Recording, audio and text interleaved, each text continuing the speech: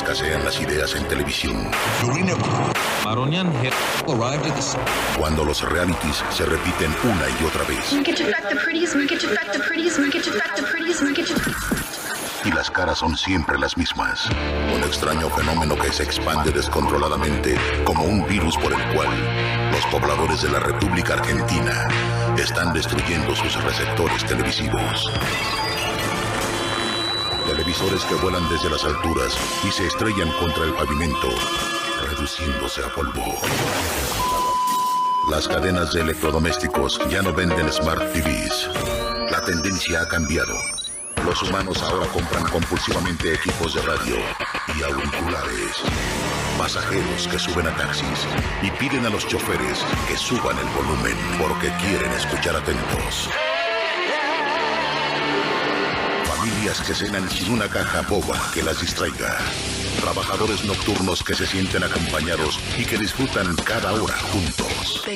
Chicos y chicas de todas las edades que escuchan y comentan lo que pasa en sus grupos de WhatsApp. Las noches de la Argentina están cambiando para siempre. Todos unidos en un mismo programa de radio. Un lugar donde los oyentes son protagonistas. Historias de terror reales, contadas en primera persona. Bienvenidos a este viaje de ida. Esto es Noche Paranormal.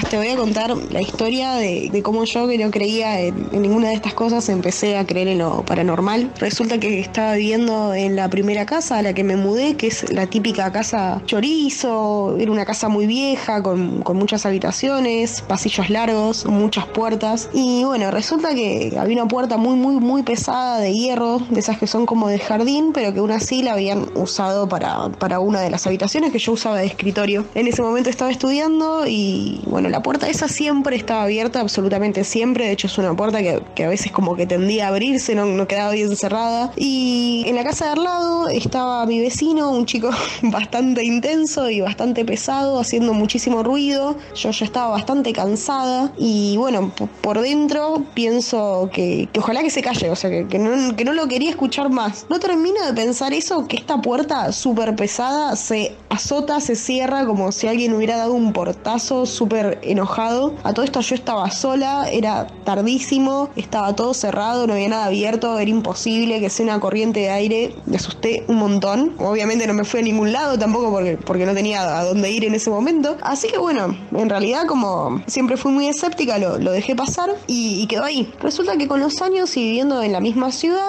conozco a la amiga de una amiga. Ella sí es una persona como mucho más creyente de estas cosas y me empieza a contar, está viviendo en una casa que, que es súper fea, que es como de características muy similares a, la- mi casa de ese momento y que hizo una limpieza en la casa. Y que particularmente una de esas puertas que había en la casa estaba súper cargada eh, de energía como muy negativa, como que habían pasado cosas muy raras. A lo que, bueno, sacando en conclusión, le, le pregunto a la dirección porque las cosas que me contaba eran muy similares y resulta que su casa en la que vivía y en la que hizo esta limpieza era la casa en la que, viví- en la que había vivido yo y esa puerta estaba cargadísima, me dio un pavor terrible, aparte darme cuenta que, que realmente había sido así, que, que esa puerta se azotó y nunca voy a saber por qué. Y esa, esa es mi historia paranormal. Te mando un saludo acá con Lucas que te escucha todas las noches. Gracias. Contanos tu historia paranormal en vivo. Llamando al 11 27 84 1073. Grabala en audio y envíala por WhatsApp al 11 27 84 1073. Hace un tiempo ya que en la época invernal, como de costumbre por la noche, realizando adicional en el móvil municipal de Tigre, estábamos cubriendo la soda de Villa Lañata.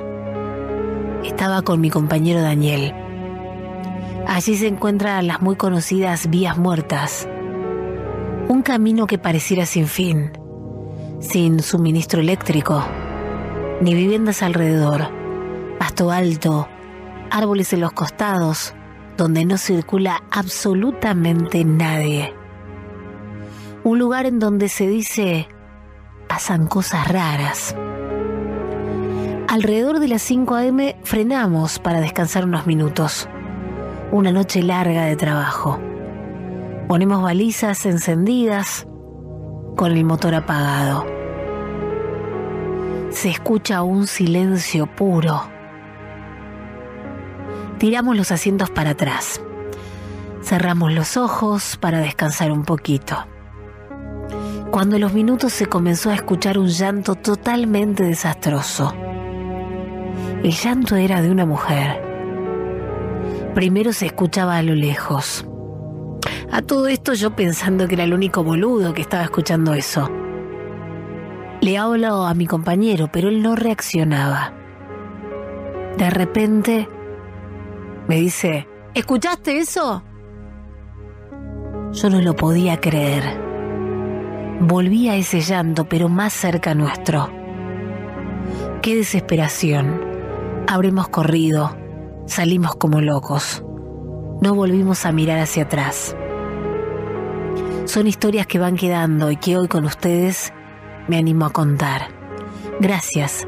Saludos Héctor, Mona y equipo. 11 27 84 10 73. Hola Héctor, ¿cómo estás? Soy Romina del Viso. Soy seguidora de la Noche Paranormal hace mucho, pero lo que vengo notando es que en la Noche Paranormal hay mucho paranormal malo, pero como todos sabemos la vida es el yin y el yang, lo bueno y lo malo, o sea, paranormal también hay bueno. Así que te vengo a traer acá una historia paranormal de las buenas, cuando te parece uno de los buenos y uno de los malos. Yo había tenido un intento de suicidio que prosperó, digamos, estuve muerta. Estuve nueve días en coma, resucité, estuve un par de meses internada y después me recuperé y volví a la vida porque nunca había sido ni suicida ni depresiva. Fue como que tuve una toma de mi personalidad en un periodo con mucha droga entonces yo quería volver a la vida positiva como siempre. Era como, me diagnosticaron de hecho un trastorno, un episodio de trastorno límite de la personalidad, o sea que no es que estás trastornado siempre, tuviste un episodio. Bueno, cuestión que después de todo este episodio, ¿sí? Que yo estuve en el inframundo un poco porque cuando te suicidas tenés problemas, ¿sí? No vas a lugares copados, les aviso muchachos, eh, por si tienen pensado suicidarse los depresivos. Bien, entonces fui a estos lugares del inframundo dije, puta carajo, ¿qué hago acá? Gracias a Dios tuve una oportunidad de redimir mi alma, de hacer cosas piolas y de, no estar ahí, de volver al mundo, ¿sí? Pero esos lugares son oscuros, chicos, no, no, suicidarse no está bien. Son mil vidas de redención después. Vas estar en el purgatorio una banda. No es lo que vos querés. Bueno, cuestión que nada. Cuestión que en este momento una amiga me hizo reiki, me hizo esto, me hizo lo otro. Intención. La intención es todo en, este, en esta vida es así. Y me conecté con Jesús, tuve una lluvia, una lluvia dorada, digamos, es una lluvia dorada de Jesús, no sean mal pensados. Como un baño de luz, ¿sí? Y no del pelo, del alma. Así que bueno, acá estoy tratando de dejar mi granito de arena para que no vayan a probar cosas que no tienen sentido y agradezcan la vida que tienen. Los quiero, besos.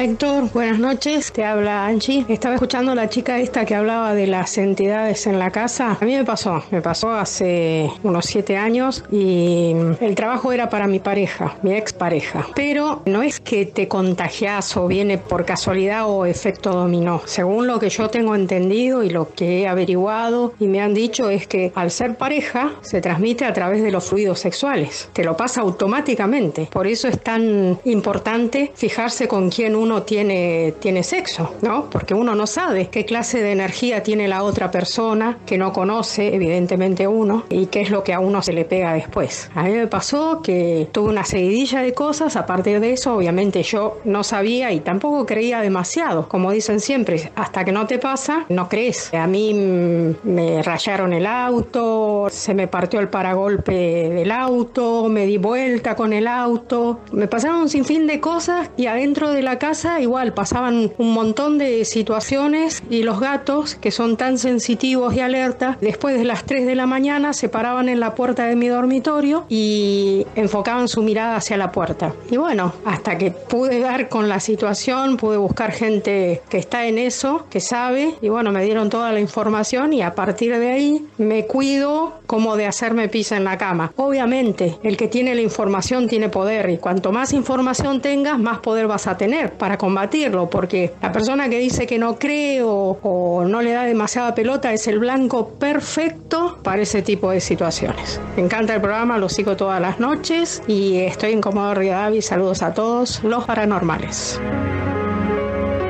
Son historias verdaderas, contadas por sus protagonistas. Hola Héctor, soy Jorge. Anoche hablé con vos en vivo y después toda la noche me quedé zarpado, pensando en lo que habíamos charlado. Me encanta el programa. Besos. Buenas noches, buenas noches para todos. Bueno, te quería contar una historia, no me animaba, pero bueno, siempre lo escucho, muy buena la radio, soy camionero. Te quería contar, bueno, que el otro día yo salí de viaje de mi casa, yo estoy viviendo ahora en la casa de mis primos y me fui de viaje por 15 días aproximadamente. Esa noche antes de irme no me podía dormir, me costaba, tenía miedo, como que en el sueño algo me agarraba. Bueno, me levanto, me fui al trabajo agarré el camión, salí de viaje. Volví a las dos semanas, vuelvo, entro a mi dormitorio, sobre la colcha, una colcha de pluma, encuentro gusanos blancos. Mirando un poco en Google, bueno, decía que puede generarse por resto de comida, que haya hecho comer en la cama, que no lo hago, incluso estaba limpio porque ordené todo antes de irme. Y había cantidad. Limpié todo, ese día me quedé a dormir ahí, limpié todo. Al otro día me levanto, tiendo la cama como siempre, y y bueno, le comenté esa noche a mis primos y al otro día cuando yo me fui se levantaron, volvieron a encontrar gusanos debajo de la almohada, en cantidad gusanos blancos. Me parece medio raro eso, después limpiaron todo, bueno, prendieron saumerio, tiraron agua bendita, sacaron todo, o sea, verificaron todo para descartar que haya caído del techo o por la humedad, no había nada. Incluso sigue habiendo gusanos en el dormitorio porque ahora fui el martes Franco y nuevamente había gusano. O sea, limpio toda la cama para descansar. Cuando me despierto encuentro 3, 4 gusanos dando vueltas sobre la sábana. No entiendo. Me gustaría saber el por qué.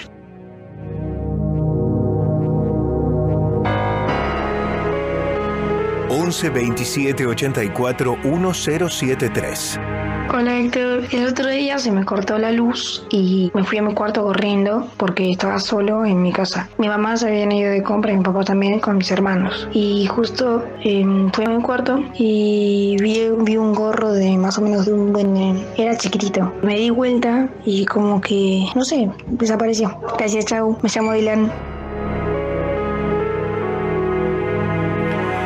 Gracias eh, a todos ustedes por estar con nosotros a las 9 de la noche con 17 minutos en la República Argentina. ¿Qué tal? ¿Cómo andan? Bienvenidos. Llegamos al viernes 2 de junio del 2023. Estamos en vivo desde ahora y hasta las 12 de la noche, solo historias reales. Este es el ritual. Esto es la noche paranormal.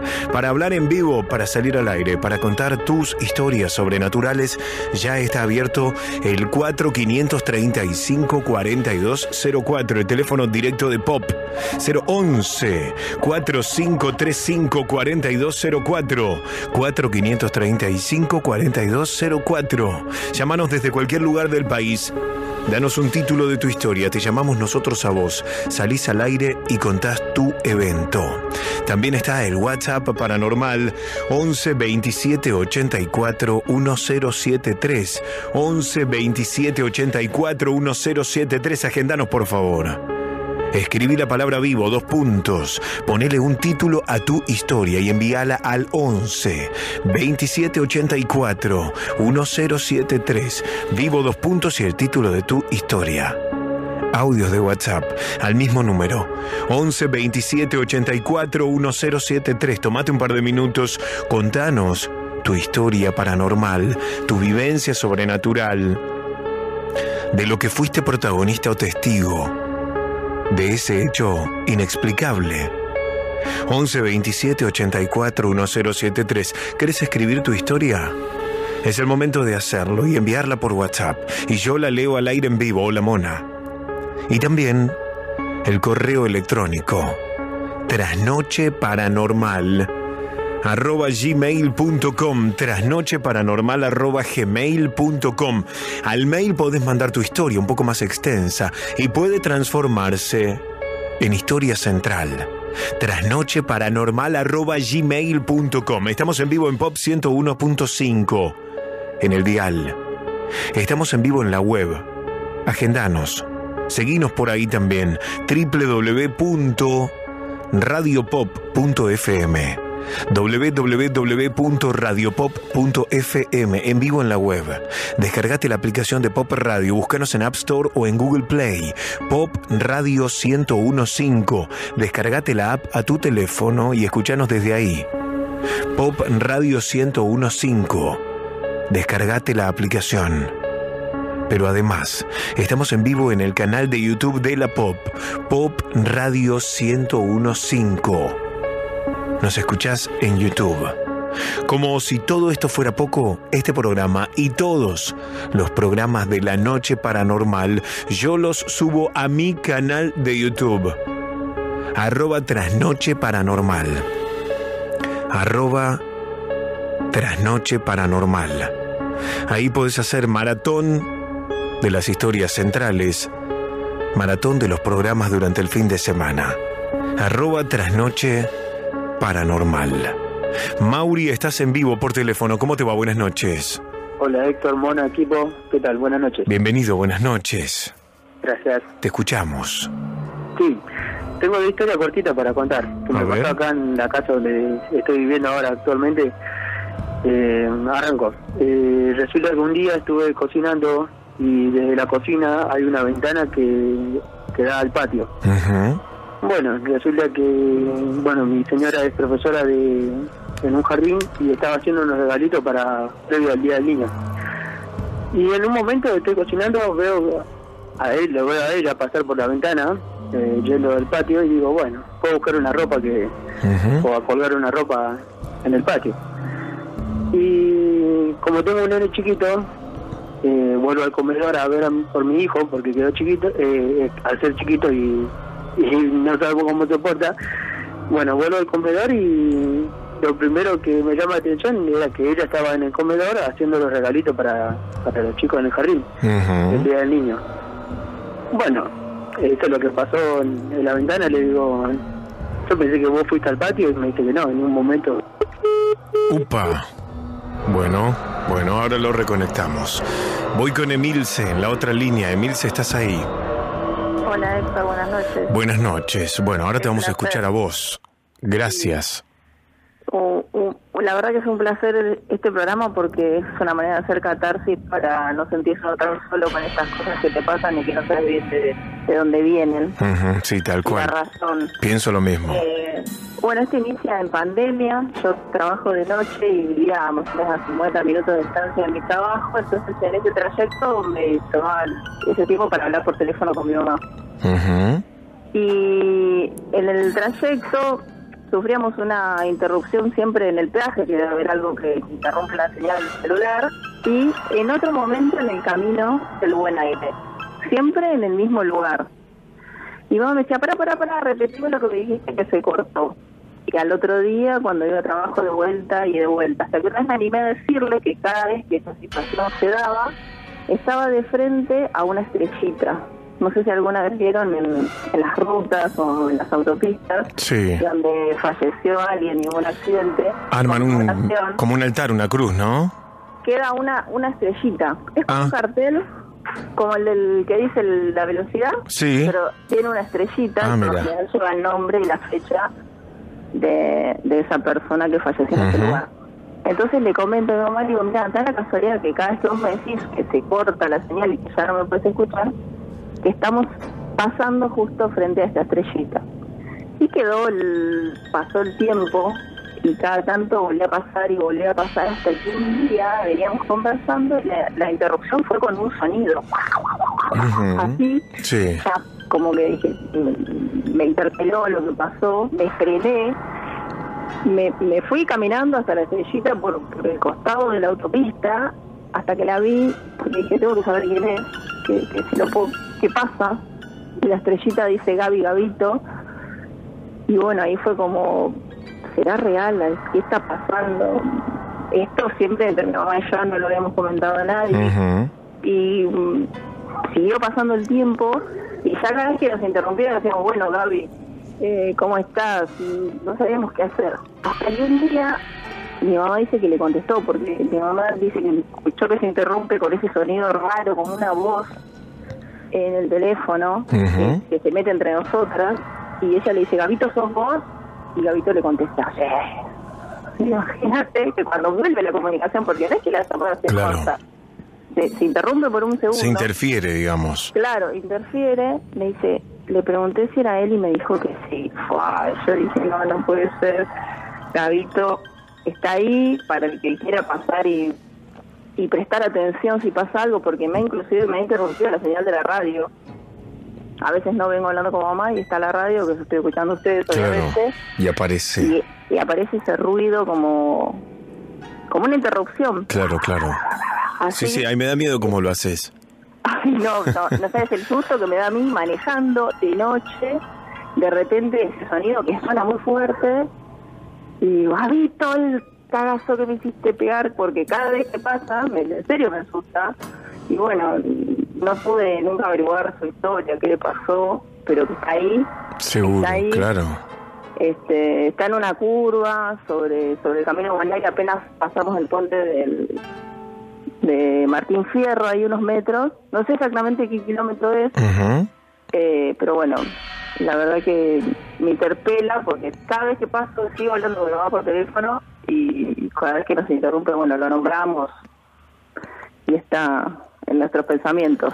Y, y también interactúa, ¿no? Por todo lo que contás. Emilce, gracias por estar con nosotros. Te mandamos un beso grande. Un beso. Chau, hasta la próxima. 9 de la noche, 26 minutos. Para hablar con nosotros, ya sabes, 4535 4204. Estoy en vivo en mi cuenta de Instagram, en arroba Héctor Locutor OK. Arroba Héctor Locutor OK. Acabo de empezar un vivo. Si quieres sumarte, te metes en mi Instagram, arroba Héctor Locutor OK. Ahí estamos en vivo. Si todavía no me seguís, vas a la lupa de Instagram, pones Héctor Locutor OK. Entra, empezá a seguirme. Una vez que me seguís, al lado de mi nombre, arriba, hay una campanita.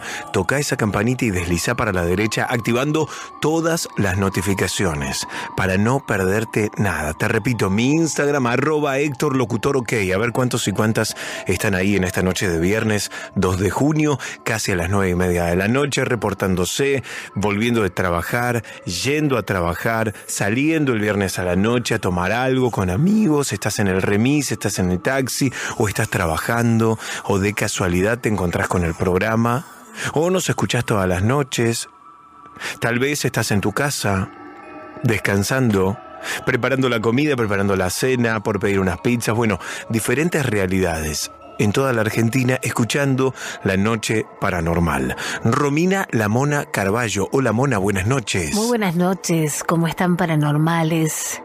Muy buenas noches, Héctor Rossi. Hablamos de hechos paranormales con famosos.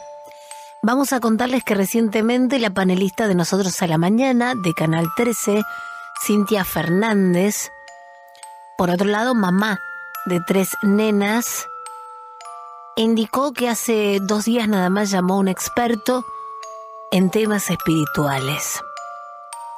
Cintia está por llevar a cabo un local, un emprendimiento propio, y últimamente viene sufriendo diferentes extraños sucesos paranormales que ella detecta en su casa, ruidos raros e incluso siente que le han hecho una macumba, así lo determinó. Contó que los especialistas fueron con un péndulo para medir la energía del lugar y se sorprendió al ver que el, péndulo giraba en contra del sentido de las agujas del reloj. Se utilizó incienso para limpiar el local. Aparentemente se enciende rápido, pero en este caso, en el local de Cintia, tardó mucho en encender el incienso, por lo que determinó el especialista en espiritualidad que el espacio está cargado de mala energía. Cintia va a seguir hasta que logre limpiar en definitiva todo el local porque quiere hacer un emprendimiento para que las cosas funcionen y reiteró, tengo una macumba encima, ya me imagino de qué lado viene. Nos gustaría que opines sobre el tema, sobre qué te pareció, también de repente vos viviste algo similar, tenés un emprendimiento o has llevado a un especialista espiritual a limpiar tu casa, tu oficina, tu cuarto, tu lugar de estudio. Conta tu historia en el 11 2784 1073. Gracias, Mona. Nueve y media en punto en la noche de la República Argentina. Mauri, ¿volviste? ¿Estás por ahí? Sí, sí, ¿qué tal, Héctor? Bien, bueno. justo en la habitación de la segunda historia que te voy a contar. Terrible, loco. Vamos de nuevo. Contame de nuevo porque se entrecortó todo. Adelante. Sí. En la primera historia te contaba que estaba cocinando y en, en la cocina tengo una ventana que da al patio. Y resulta que mi señora estaba trabajando haciendo unos regalos para, para los chicos de un jardín y veo que pasa ella, lo veo pasar eh, yendo al patio. Me imaginé que, estaba yendo a, a colgarme una ropa bueno, tengo un nene chiquito, vengo al comedor a verlo, a ver a él y me encuentro que mi mujer estaba haciendo los regalos. En ningún momento salió afuera. Y le digo, ¿vos no saliste afuera? No, me dice. Bueno, quedó así. Vuelvo a la cocina, estoy cocinando y me dice en un momento, Mau, ¿dónde te vas? Me dice. Yo en ningún momento salí de la cocina. Claro. Y vengo al comedor y le digo, ¿me hablaste? Y me dice, no, te vi salir ahí afuera, me dice. ¡Qué locura! Sí. Pero para la, vos la viste a ella y era exactamente igual lo que viste, porque entendemos que no era ella, era igual a ella. Sí, era igual a ella, era igual a Pero estaba vestida igual que como estaba tu esposa en ese momento. Sí, tal cual, como estaba vestida en ese día, sí. Y bueno, y ella me vio, a los pocos minutos que pasó eso, me vio que yo salía hacia afuera. Claro. En un momento le dije que, que me iba. Y no, yo estaba en la cocina cocinando y nada, quedó algo así entre nosotros y bueno, eh, la segunda historia. Pasó hace un par de meses atrás, en la casa hicimos una reforma en una habitación y bueno, amueblamos y todo y estábamos durmiendo, aún todavía no, vivimos en la habitación y estábamos durmiendo en el comedor. Y bueno, eh, yo me despierto a las cuatro y media para ir a trabajar, me levanto y, y nada. Eh, pasa que en esa madrugada, a las dos y media de la mañana, escucho un ruido de algo fuerte que, pasó acá en la habitación donde justamente te estoy hablando. Y me despierto después del ruido y escucho unas pisadas que salen corriendo. Eh, pisadas fuertes. Y acá en la habitación no hay ningún momento, no hay nada como para decir, bueno, eh, tener un lugar donde escapar o donde huir. Además la ventana tiene reja y y me llamó la atención eso, porque escuché el ruido y apenas se escuchó el ruido, eh, se escuchó las pisadas que salía corriendo rápido y la habitación es chiquita. Bueno, me despierto, le digo a mi mujer si escuchó eso, estaba en su quinto sueño, y bueno, dije, habrá sido un sueño. Y cuando me despierto a las 4 de la mañana, a 4 y media, a venir acá en la habitación a ver qué pasó, y había un cuadro que estaba tirado en el piso, y aún no entendemos qué sucedió. Qué, qué locura, loco, todo lo que estás contando. Che, eh, me gusta que le pongamos un punto, unos puntos suspensivos a tu historia porque seguramente no, no es que te deseo que te pasen más cosas, pero esto va a seguir. Eh. Evidentemente hay, hay algo que se está manifestando. Mauri, te mando un abrazo grande. Che, gracias bueno, por gracias, Que buenas noches. Hasta la próxima. Gracias, loco. 9 con 33. Están llegando un montón de mensajes. Estoy en vivo en Instagram, en arroba Héctor Locutor OK, arroba Héctor Locutor OK. Saluda a todos los que están del otro lado de mi cuenta de Instagram. Gracias por estar ahí acompañándonos. Héctor dice, soy Rosita, siempre los escucho desde Tristán Suárez Ezeiza, muy buena la radio. Genia Cintia Barros Ortiz ayer recomendando películas, me encantó. Sí, mucho, leí muchos comentarios hablando bien de Cintia, eh, que les encantó la columna anoche, gracias. Hola Héctor, buenas noches, te quería comentar que me llamó mucho la atención el audio de este hombre que le apareció un cyborg que lo llevó a otro mundo. Es increíble, pero ¿podrá ser real? Dice Lucas. Hola Héctor, soy Norma de Quilmes, no tengo historias paranormales, pero sí vivo mucho la parálisis de sueño. Hola Héctor, buenas noches, saludos desde el barrio La Capilla de Varela. Héctor, escuchando la radio en Tandil, dice Pablo. Héctor, soy Esther de Tristán Suárez Ezeiza, gracias por el programa, son unos genios. Hoy hay historia central, retro. Yo les propongo que suban el volumen porque este es un adelanto. Esta es la historia real de Vecinos Macabros en primera persona. Me llamo Guido, soy de Buenos Aires. La siguiente historia sucedió a inicios del nuevo milenio. En aquel entonces, yo vivía con mi familia en Villa Martelli, en un departamento de octavo piso. Una mañana de agosto yo estaba llevando a mi hijo al colegio. Fuimos hasta el ascensor. La puerta se abrió y vimos ahí parado, como en un retrato, a una pareja de ancianos. El señor tenía una campera de lana de oveja color marrón, una boina y lentes gruesos. La señora tenía rulos grises y un vestido amarillo que parecía una cortina de baño. Ya me transmitieron algo raro nada más verlos, y eso nada tenía que ver con que jamás los haya visto antes. El señor me miró y amablemente me dijo, ¿Este es el noveno piso? Le dije que no, que era el octavo. La señora lo miró con odio. Volvieron a cerrar la puerta del ascensor y pude escuchar cómo lo insultaba por tocar mal los botones.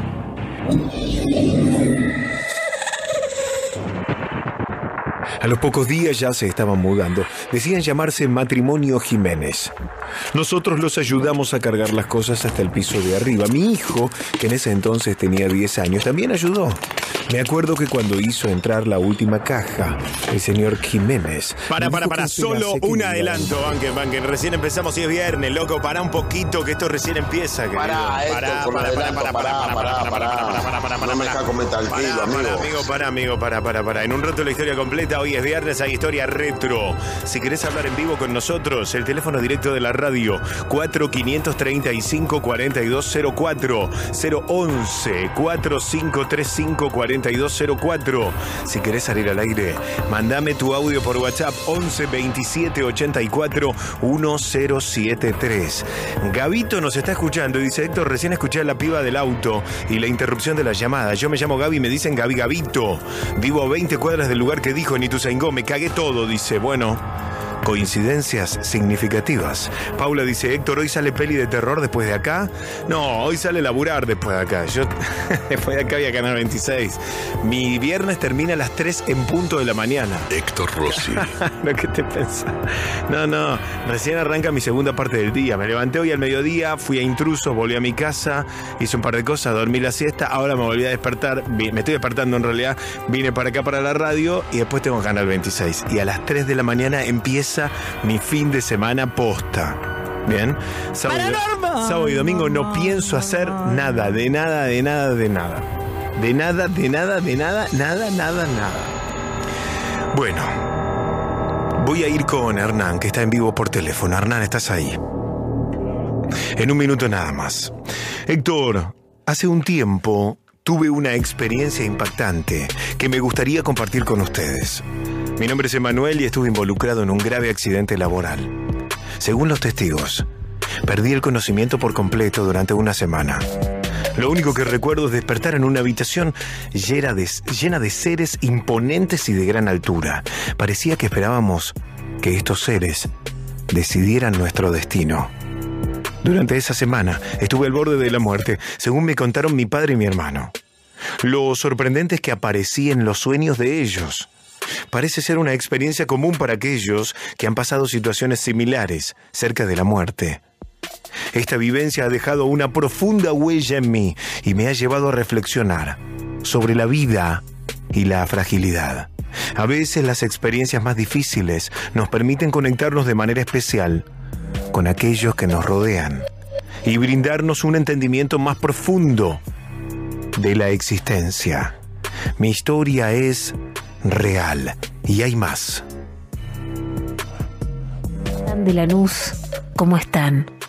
Lo de la mujer diciendo tumba 4 me estoy acordando. Es un egum, espíritu oscuro, que ese hombre que iba a contar la historia lo tiene pegado. Los egum son almas perdidas en este plano. Se pegan a ciertas personas por diferentes motivos. Viven de la energía de quienes se pegan y a veces se manifiestan. Esa voz en ese momento fue la manifestación del alma en pena. Muy bueno el programa. Abrazos, genios.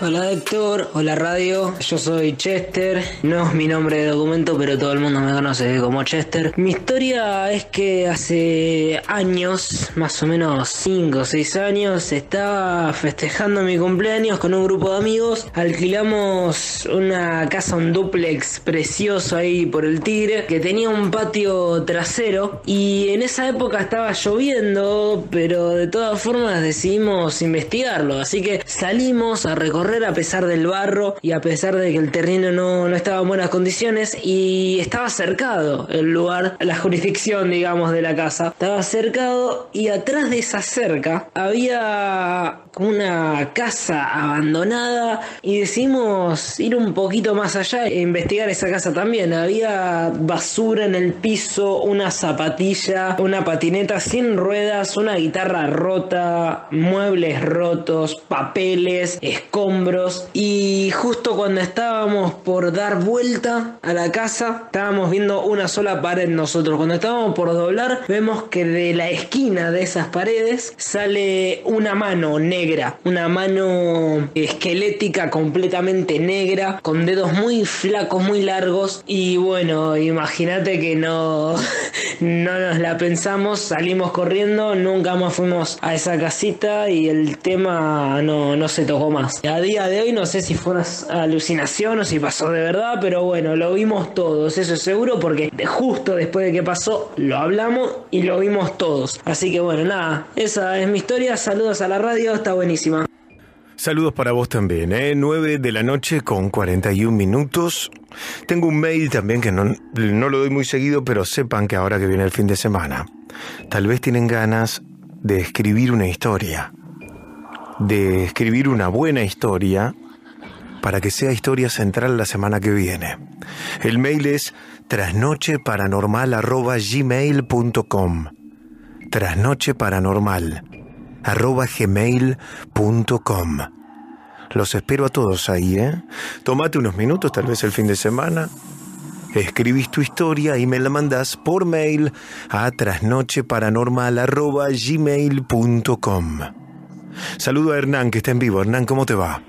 Héctor, buenas noches, ¿cómo estás? Bienvenido, buenas noches, te escuchamos. Muchísimas gracias. Eh, bueno, mira, no sé si llamarlo paranormal, ¿no? Pero bueno, eh, este sueño ya es como que me pasó a mí hace aproximadamente 20 años y lo escuché de similar manera que otros oyentes eh, también les sucedió. Tal vez no tal cual, pero eh, se asimila mucho. Eh, el punto es el siguiente, yo, mi mamá falleció hace 25 años, yo tenía algo de de 18 años, ¿no? Y eh, bueno, empecé a andar muy mal, eh, estaba muy triste, prácticamente ya con depresión, no podía dormir por la noche, me daba miedo. Eh, y bueno, una de esas noches me dormí. cuando me duermo, siento que voy, yo calculo, por ese famoso túnel oscuro, negro, que, que varias personas eh, también este, atravesaron. Y yo, bueno, iba en ese especie, calculo como de carrito que iba en diagonal hacia arriba. Eh, estaba todo negro y en un momento se empieza a aclarar cuando voy viajando por ese túnel y veo que delante mío iba como en otro carrito una persona también eh, sentada. Por esas cosas del sueño, de golpe aparezco en un lugar donde era todo césped, donde había un cielo azul. No se veía el sol, pero era de día, la temperatura también era ideal. Veo personas caminando, pero con mucha paz, como que iban charlando entre sí, personas que estaban sentadas también charlando, había bancos tipo de plazas o de cemento, había como columnas romanas también, y de golpe, yo mirando todo, eh, me aparece por la derecha mi mamá, con una especie de túnica. ¿Tu mamá, tu mamá perdóname, tu mamá fallecida? Sí, sí, sí, sí, mi mamá ya fallecida. Sí, sí, sí, sí, sí. Y yo con todo ese tiempo de no poder conciliar el sueño, de andar mal, de estar triste, de recordar todo el tiempo. Eh, entonces en ese momento me aparece mi mamá por la derecha y cuando yo la veo, bueno, obviamente, ¿no? Eh, me alegro y ella como con rechazo me pregunta qué hacía ahí. Claro.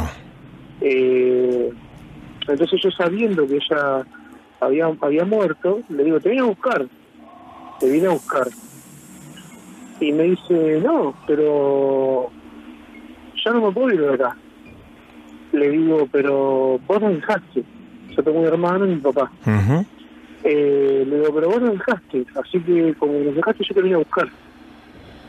Entonces me dice, no, yo no, te, no, no, no me puedo ir de acá. Entonces yo le digo, bueno, entonces yo me quedo con vos. No, no, me dice, no te puedes quedar acá. No es momento de que estés acá. Entonces ahí me pregunta, ¿quién te trajo?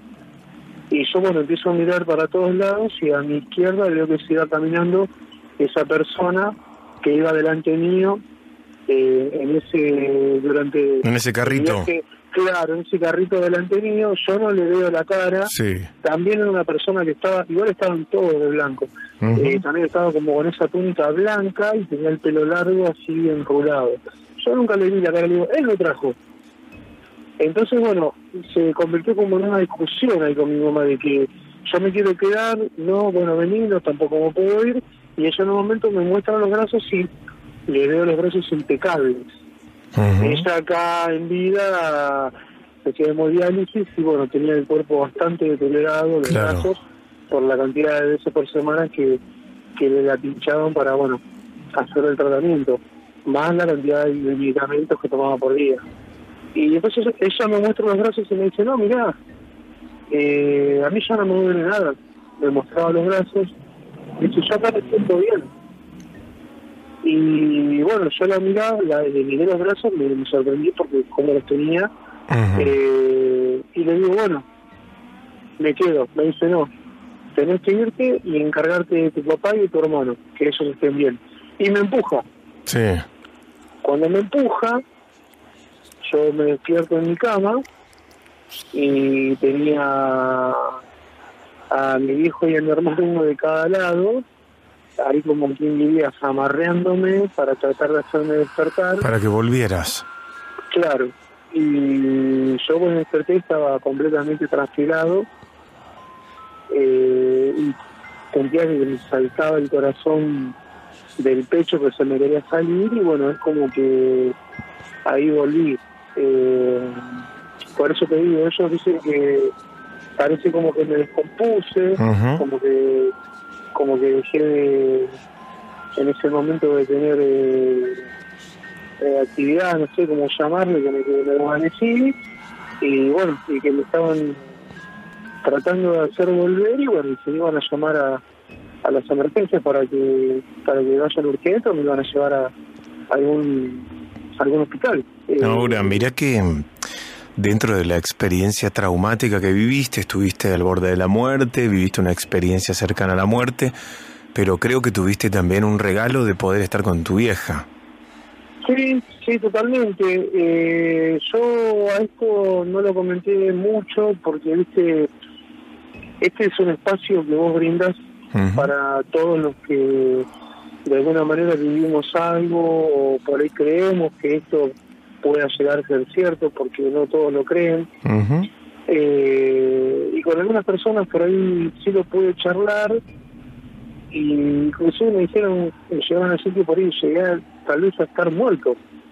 ¿Que ¿Estuviste tal vez clínicamente muerto, decís? Sí, sí, yo te digo sinceramente, no tengo la menor idea.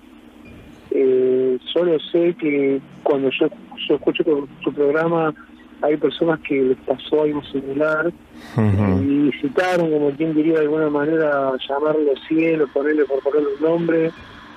Eh, después de ese día todo cambió. Y inclusive después de ese momento, si hoy en día me preguntás eh, si tengo miedo a morir o si llego a sufrir un hecho de inseguridad y no sé, me toca morir, yo digo, yo ya no tengo miedo a la muerte porque sé lo que me espera después de esto. Claro, ya viviste una experiencia muy fuerte. Claro, y a la vez como, bueno, muchos relatan, es como que estamos acá en la Tierra en un plano y pasamos a otro plano, le llamamos muerte, pero bueno, cuando yo desencarne, yo ya viví esto, ya sé lo que viene después. Claro, claro. Que me quiera creer, que me crea, que no quiera creerme, que no me crea, pero es como que yo yo ya lo viví, entonces yo sé el día que me tengo que partir de este plano que voy a pasar a otro. No es que se apaga la luz y no hay nada. No es que se termina, vos ya viviste algo más. Exactamente. Por eso, te, por eso te decía lo de tu mamá. Gracias por contar la historia, Hernán. Te mando un abrazo grande. Gracias, Héctor. Muy bueno el programa, los escucho todo el tiempo, todas las noches. Y saludos para los chicos que me llamaron, los genios y para todos los que escuchan la radio. Gracias, loco. Te mandamos un abrazo. Chau, chau. Diez minutos para que sean las diez de la noche en la República Argentina. Estamos en vivo en este viernes, 2 de junio. Quiero hablar con vos. Quiero que me llames y me cuentes tu historia paranormal. 4535-4204. 011 4535-4204. El WhatsApp 11 2784 1073 11 27 84 1073 ahí podés escribir la palabra vivo dos puntos Ponele un título a tu historia y te llamamos. O podés grabar tu historia en un audio. Tómate dos minutos, graba tu historia paranormal y envíala. 11 27 84 1073. O la escribís. Estoy en vivo en Instagram, te dije en arroba Héctor Locutor, ok. Chicos, buenas noches. Mi nombre es Patricio. Desde chico me pasan cosas paranormales. El otro día, escuchando la radio, contaron una historia que despertó mi sexto sentido. Así le llamo. Veo cosas de vez en cuando. Ahora mismo, mientras escribo, la radio entró en interferencia. Iba por camino del buen aire cuando llego a la altura del penal de San Martín. El auto se me detuvo. Cuando el auto termina de pararse, había un monumento a la memoria de una persona que había sido atropellada en ese lugar. Automáticamente veía por el espejo en la oscuridad a una persona sentada. Un hombre de aproximadamente 40 años, 75 kilos, solo miraba por la ventana, con melancolía. Y la figura se veía algo borrosa. Fue conmigo hasta San Miguel donde frené y sentí que ya no estaba. Mi historia es real y hay más. 11 27 84 1073. Hola chicos, soy Estefanía, trabajo recorriendo el pato por Verazategui y toda la noche se ven fantasmas, zonas de quintas, campos oscuros. No tengo miedo. Siempre veo personas que ya no están.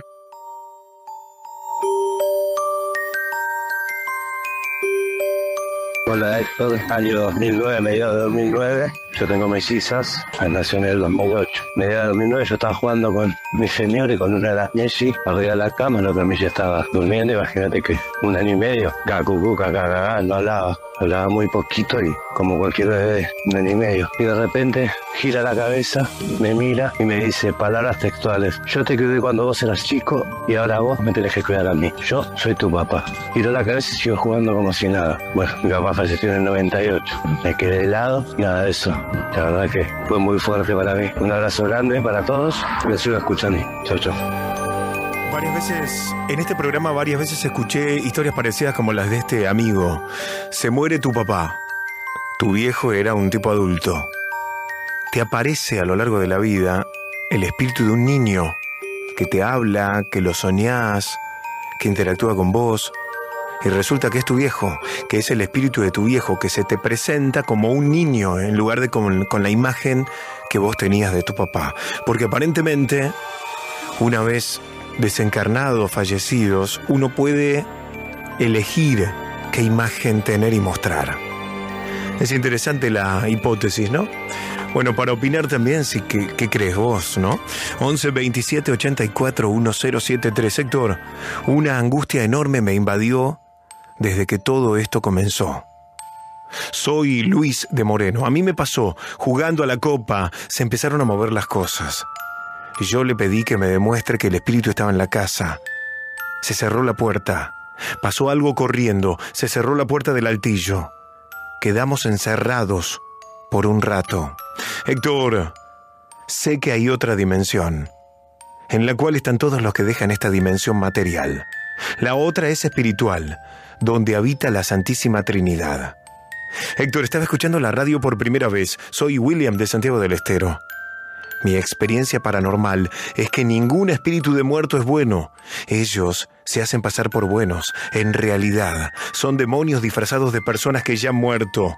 Mucho cuidado cuando estos entes aparecen en tu casa. Tenga mucho cuidado. Luego les iré contando más historias. Hola equipo paranormal, soy Agus de Verazategui. Les cuento una historia que nos contaba mi abuelo. Mi papá tiene tres hermanos hombres y él es el más grande. Cuando él era chiquito, que recién había empezado a caminar, desaparecía siempre y lo salían a buscar. Siempre lo encontraban en el hueco de un árbol, con cosas brillantes. Desaparecía a la noche y después lo buscaban en el mismo lugar. Le preguntaron por qué se iba. Él le respondió que el duende lo llevaba a su casa y que además le regalaba cosas. Ellos vivían en el campo en la provincia de Formosa. Hasta el día de hoy dice que era el pomberito, pero no lo vamos a saber nunca. Saludos para Gonzalo, que se está yendo a trabajar, y para ustedes que hacen que la noche sea mágica. Hola Héctor, hace más o menos dos años o uno me operaron de las amígdalas y mi mamá estaba en el baño porque no me podía quedar solo adentro del coso y vi como una sombra pasar muy alta y además no parecía un, un médico, un doctor. Esa es mi historia, gracias, me llamo Dylan, chau. Gracias Dylan. Cuatro minutos para las diez de la noche. Está Omar en vivo. Omar, ¿cómo te va? Más que buenas noches. Bueno, bueno, bueno, adelante. Lo que me pasó a mí fue hace un año. Tenía 64 años, hoy tengo 65. Eh, iba a buscar un auto, o con mecánica, iba a buscar un auto y me empecé a sentir mal. Mal, mal, mal. Doy la vuelta, le digo a la persona que no iba a traer el auto, veo la vuelta, me vuelvo a mi casa, entro el auto al garage, entro a la habitación de mi hijo, que tiene 32 años en ese, en ese momento, y le digo, hasta acá llegué, me voy a morir. Uy, otra vez pasó algo raro, ¿eh? Esperemos que esté bien ahora, justo dijo esa frase, fue terrible, ¿eh? Vieron que las palabras tienen peso. No, estoy diciendo que se murió ahora, pero estoy diciendo que hasta acá llegué, dijo, hasta acá llegué y se, hasta ahí llegó. Efectivamente, hasta ahí llegó la comunicación, se cortó. Ojo, viste que la frase dice ojo con lo que desean y ese tipo de cosas. Ojo con las palabras, con las frases que usamos. De verdad lo digo, ¿eh? Empezar a tener conciencia de que todo es un decreto, vibración, un pedido al universo, un deseo manifestado. Yo te digo, hay frases que no uso. A mí no me vas a escuchar diciendo nunca me quiero morir, ese tipo de cosas. Ojo porque son coincidencias. Omar, te resucitamos justamente. ¿Cómo te va? Bueno, A ver. en, en ese en ese momento eh, me dice, ¿pero qué te pasa? No sé, le digo, pero sé que me voy a morir. Ya lo presentía. Bueno, agarro, me voy a bañar, eran las seis y media de la tarde. Voy, me baño, me acuesto, antes de acostarme, digo, mira, acá está todo el dinero que hay, todos los documentos, y con esto, los documentos del auto y con estos documentos se van a mover después de que me pase. Bueno, me voy a, me baño, me voy a acostar. Siete de la tarde. A las ocho y media estaba mirando el televisor, tengo el televisor en la pieza. Eh, ya no podía respirar. Tengo conocimiento de medicina. Me pongo boca abajo. Respiro un poco mejor. Serían las ocho y media. Y me fui. ¿Qué significa que te fuiste? ¿Eh? ¿Qué significa eso? Me fui a un lugar de luz. ¿Pero estuviste muerto? Eh, sí, me morí. Me, me, me voy a ese, a ese lugar de luz. Era como un mostrador, pero era una, una habitación inmensa, una luz hermosa. Y había cuatro cañitos blancos, hermosos. Estaba agarrado a esos cañitos. Y había un cañito negro, un cañito negro del lado derecho, que lo miraba y me llamaba la atención el brillo que tenía. Pero miraba otra vez la luz y era una cosa de locos. Eh, Me hablaron, tengo un mensaje que lo tengo que tengo que ver un periodista porque me mandaron, me dieron el mensaje para ese periodista. Bueno, de tan, de tan lindo que estaba eso ahí, dije, me quedo acá. El acto de pasar a esa habitación y me desperté boca arriba. Y sentí cuando ese que respirás de vuelta. Sí. Bueno, La toma de aire.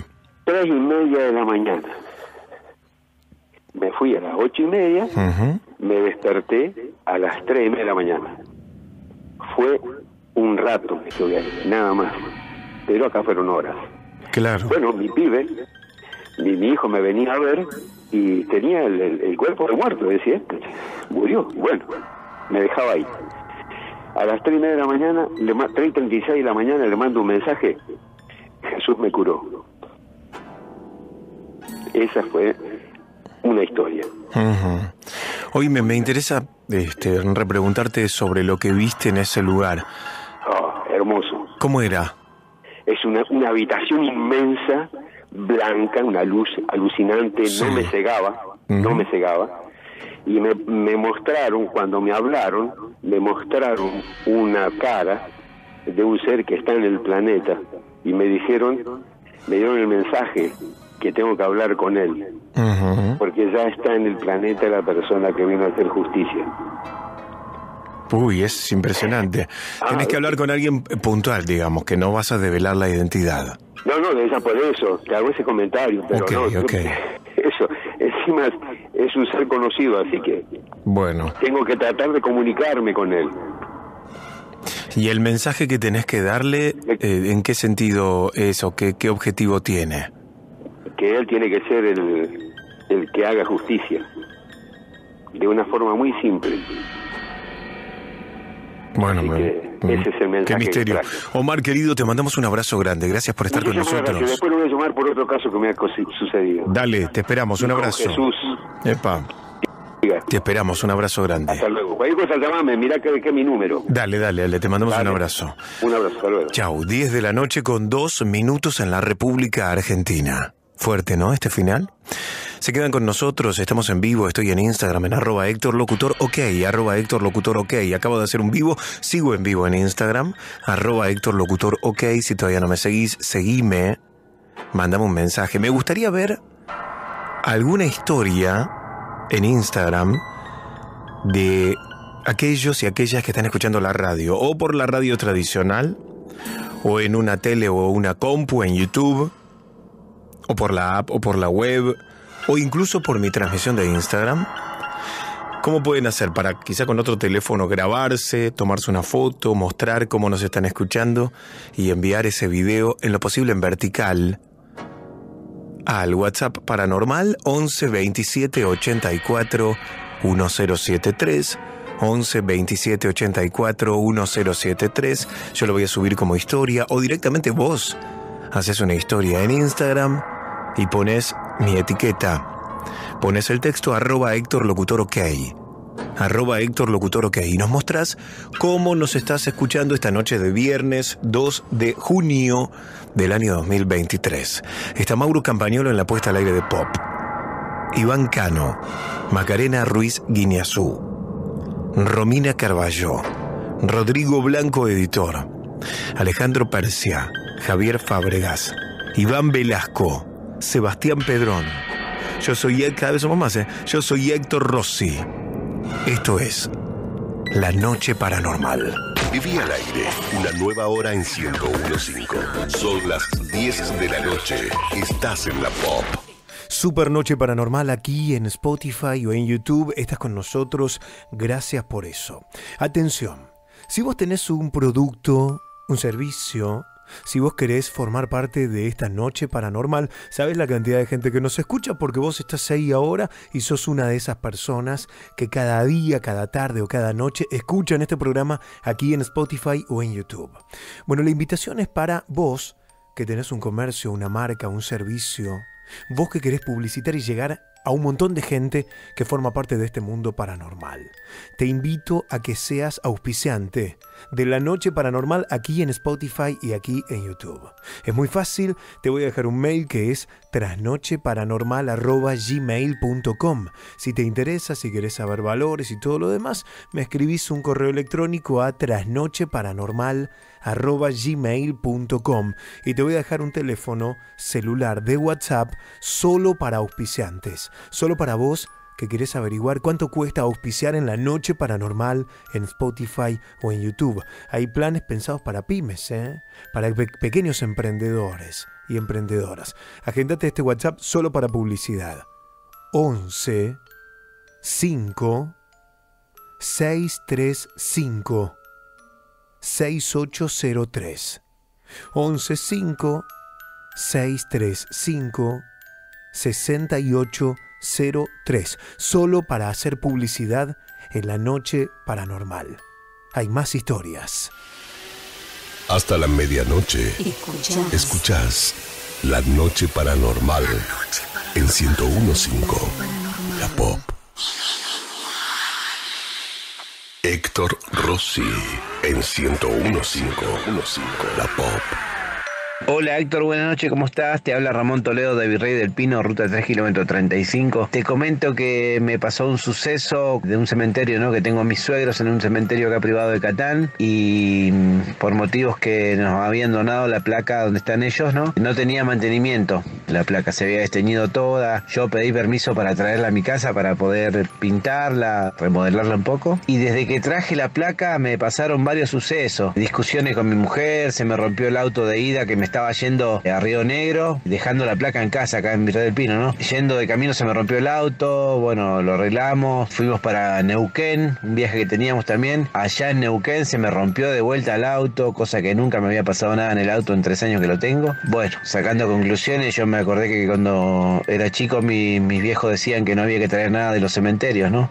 Eh, bueno, discusiones con mi mujer permanentemente. Mis suegros eran lo mejor, eran muy religiosos. Bueno, y yo saqué conclusiones con eso, ¿no? Que traje la placa del cementerio. Bueno, resulta que vinimos del viaje, todo. Yo tenía que volver de vuelta a Río Negro con mi hijo, que ella está estudiando allá. Tenemos una casa allá en Río Negro también. Y digo, no, voy a primero a remodelar un poco la placa y llevarla, llevarla al cementerio. Porque ese mismo día yo me tenía que ir en avión con mi hijo para allá para Río Negro. Bueno, la remodelo un poco, la, lavo bien, la, la pinto, todo, la llevo al cementerio, la coloqué donde iba en la tumba. Bueno, la dejo ahí. Estoy saliendo marcha atrás que la tumba quedaba al lado de un cementerio privado, podés ir a estar cerquita de la, tumba, ¿no? Estoy haciendo marcha atrás y mirando por el espejo así veo como que algo blanco se cruza por atrás del auto. Yo miro así, el auto se para, se para repentinamente, se para. Vuelvo a encenderlo, arrancó, me fui del cementerio, me quedé con esa incógnita, como si que fue un agradecimiento o algo de ellos, ¿no? Que yo le volví a dejar la placa, pero bueno, ese fue mi acontecimiento que tuve paranormal y bueno, desde ese entonces que dejé la placa, gracias a Dios, todo bien, me fue todo bien. Quería comentarles eso paranormal que me pasó. Gracias. 11 27 84 1073.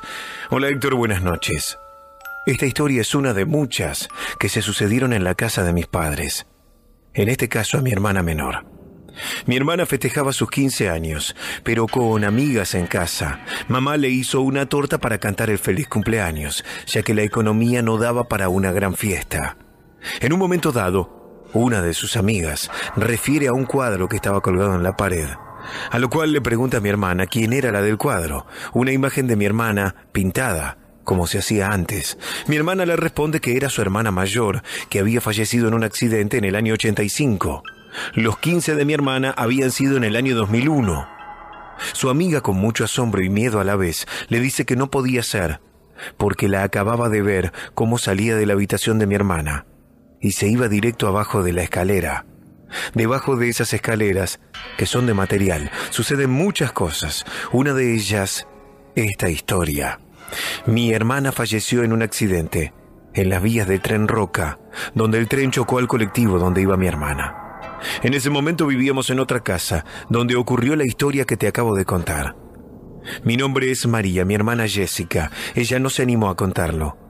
Gracias, me gustó compartir nuestra historia con ustedes. Tenemos más que suceden en la casa de mamá, pero esta es la que más me emociona a mí. Daría lo que fuera por volver a ver a mi hermana. Esta historia es real.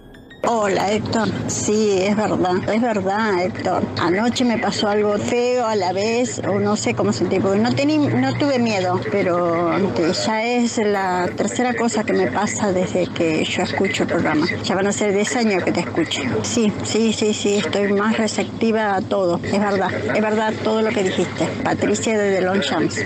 Coincido, Héctor, con lo que estás diciendo, sí. De hecho, una vuelta a la casa de crianza a raíz de que muere mi primo y bueno, lo soñé. Qué casualidad que encontré respuestas en tu programa porque yo lo soñé joven y no entendía por qué, como cuando en 2013 murió mi madre, ¿no? Igual, la soñé joven. No entendía por qué y la soñé joven y caminando.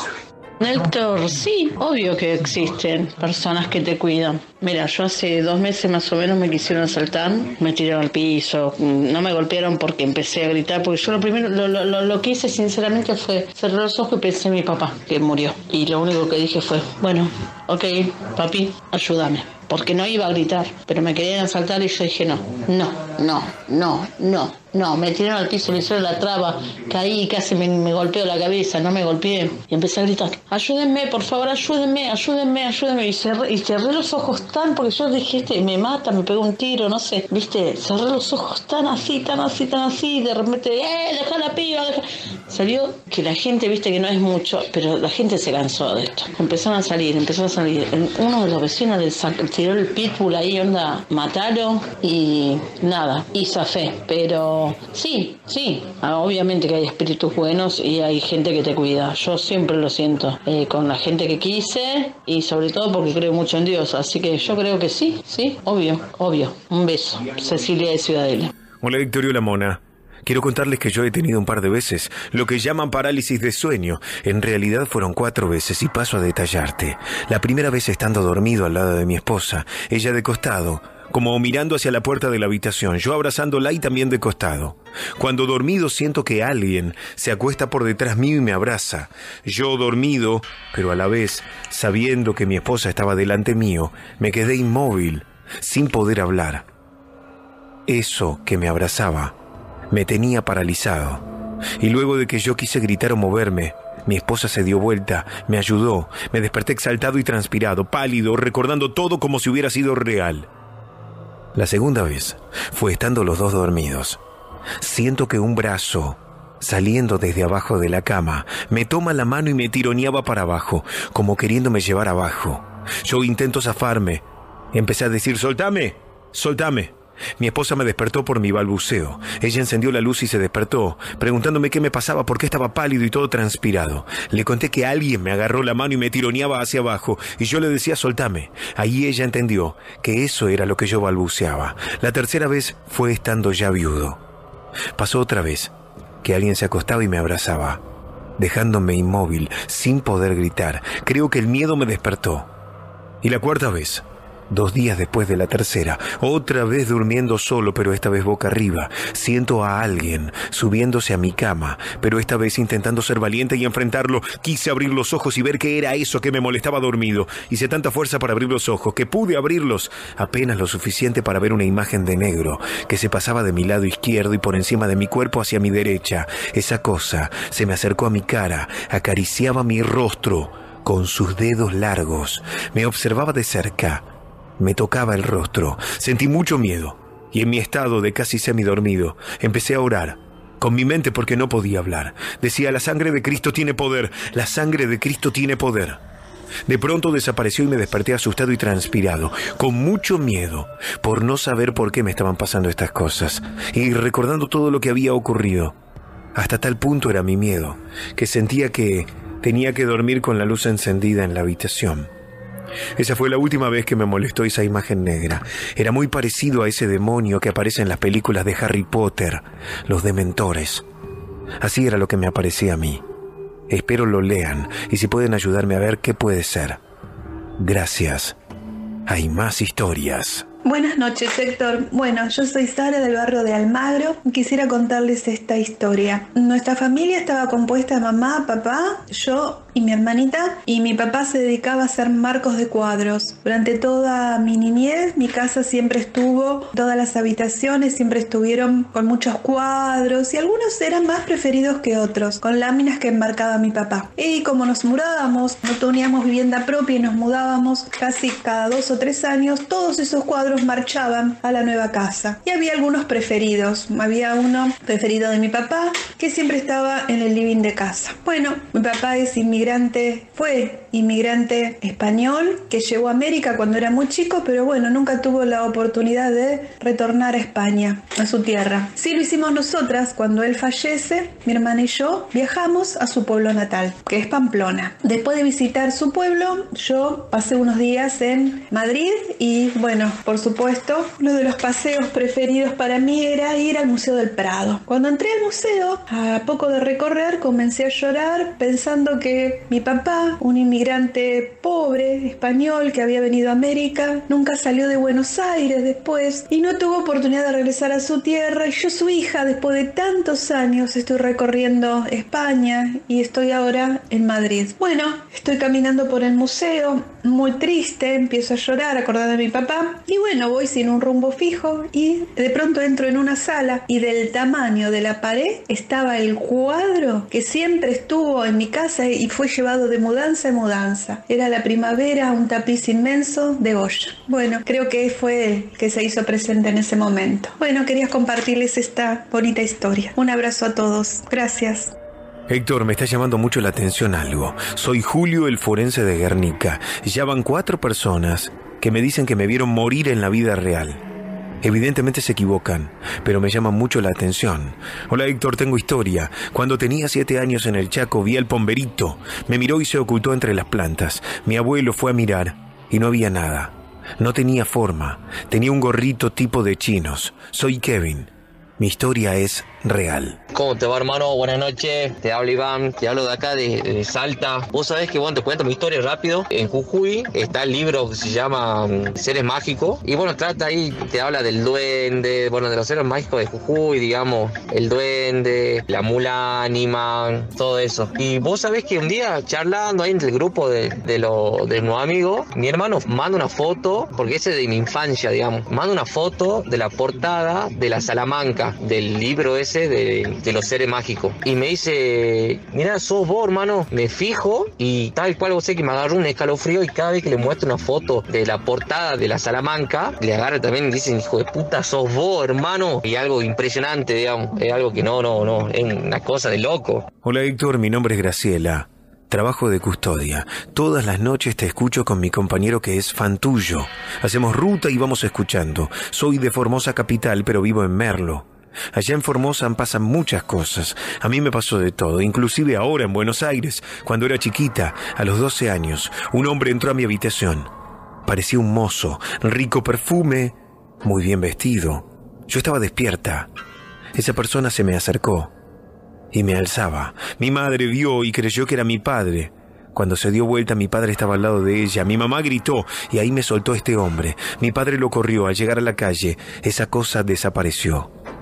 Desde ese día hasta hoy tengo muchas puntadas. Al otro día una sombra negra, una figura masculina, me tira del pelo y yo quedé como muda. Me ocurre de vez en cuando, siempre en medio de parálisis. Hay más historias. Hola Héctor, ¿cómo está? Buenas noches. Estoy yendo a trabajar, trabajo en seguridad. Mi nombre es Daniel. Te iba a contar, lamentablemente en el 2010 mataron a mi hija un tiro en la espalda. Horas antes de que pasara eso, una voz como si fuera un pensamiento me dice, es la hora de que una de las chicas se vaya. Le digo, elegí cuál me dice. Le digo, es mi pensamiento, ¿no? Yo estaba en el baño, estaba lavando los dientes. Digo, no, llévame a mí, yo me voy, no mis hijas. Me dice, no, no, tiene que ser una de ellas. En ese momento escuché la risa de Diana, que reía, que reía, era muy divertida ella bueno, pasó, yo preocupado, no sabía si contarlo o no contarlo. En fin, a, la a las 6 de la mañana me llama mi hija de que le habían pegado un tiro a Diana. Estaba desesperada, había atendido a mi mamá. Me pasa mi mamá, pues yo estaba justo en la casa de mi mamá. Me pasa mi mamá y me dice, le pegó un tiro a Diana. Y le digo, ¿a dónde? No sé, me dice, en la pierna. Atiendo, hablo con Samantha, me dice en la cara, en la cabeza, no sé, le sale mucha sangre. Automáticamente supe lo que estaba pasando y me desesperé. Salí corriendo hasta, hasta el lugar, me encuentro con mi hija en el auto y, nos vamos al hospital porque ya estaba en el hospital Diana. Llego al hospital, a la sala de guardia y escucho que el médico dice, hora de óbito, tal, me morí, me morí con ella en ese momento. No sé qué fue lo que pasó. Porque esa voz apareció en mi cabeza y me dio la opción de elegir. No sé, no quise elegir, fue sin querer. A todo esto se le aparece esa misma noche, esa misma mañana, se le aparece a mi hija. Esto pasó en San Vicente y mi hija estaba en Gleu con la mamá. Mi otra hija, Candela, de otro matrimonio. Y ella acostumbra a ver espíritus y esas cosas. Para ella ya es normal. Y la ve a Diana igual vestida como, como está vestida esa noche y le dice, ¿me estás asustada? Y le dice, sí, le dice Candela. Dice, bueno, no me voy a aparecer más. Para decirle a papá y a todo que estoy bien. No sé, esto pasó en el 2010 en San Vicente. Salían en la tele, salían todos lados. A todo esto al año del 2011 nace Eliana y es exactamente igual a ella. Y después, bueno, tengo para contarte más cosas referentes a esto. Te mando un abrazo grande, me encanta tu programa. Buenas noches. Héctor Rossi en 101.5 La Pop.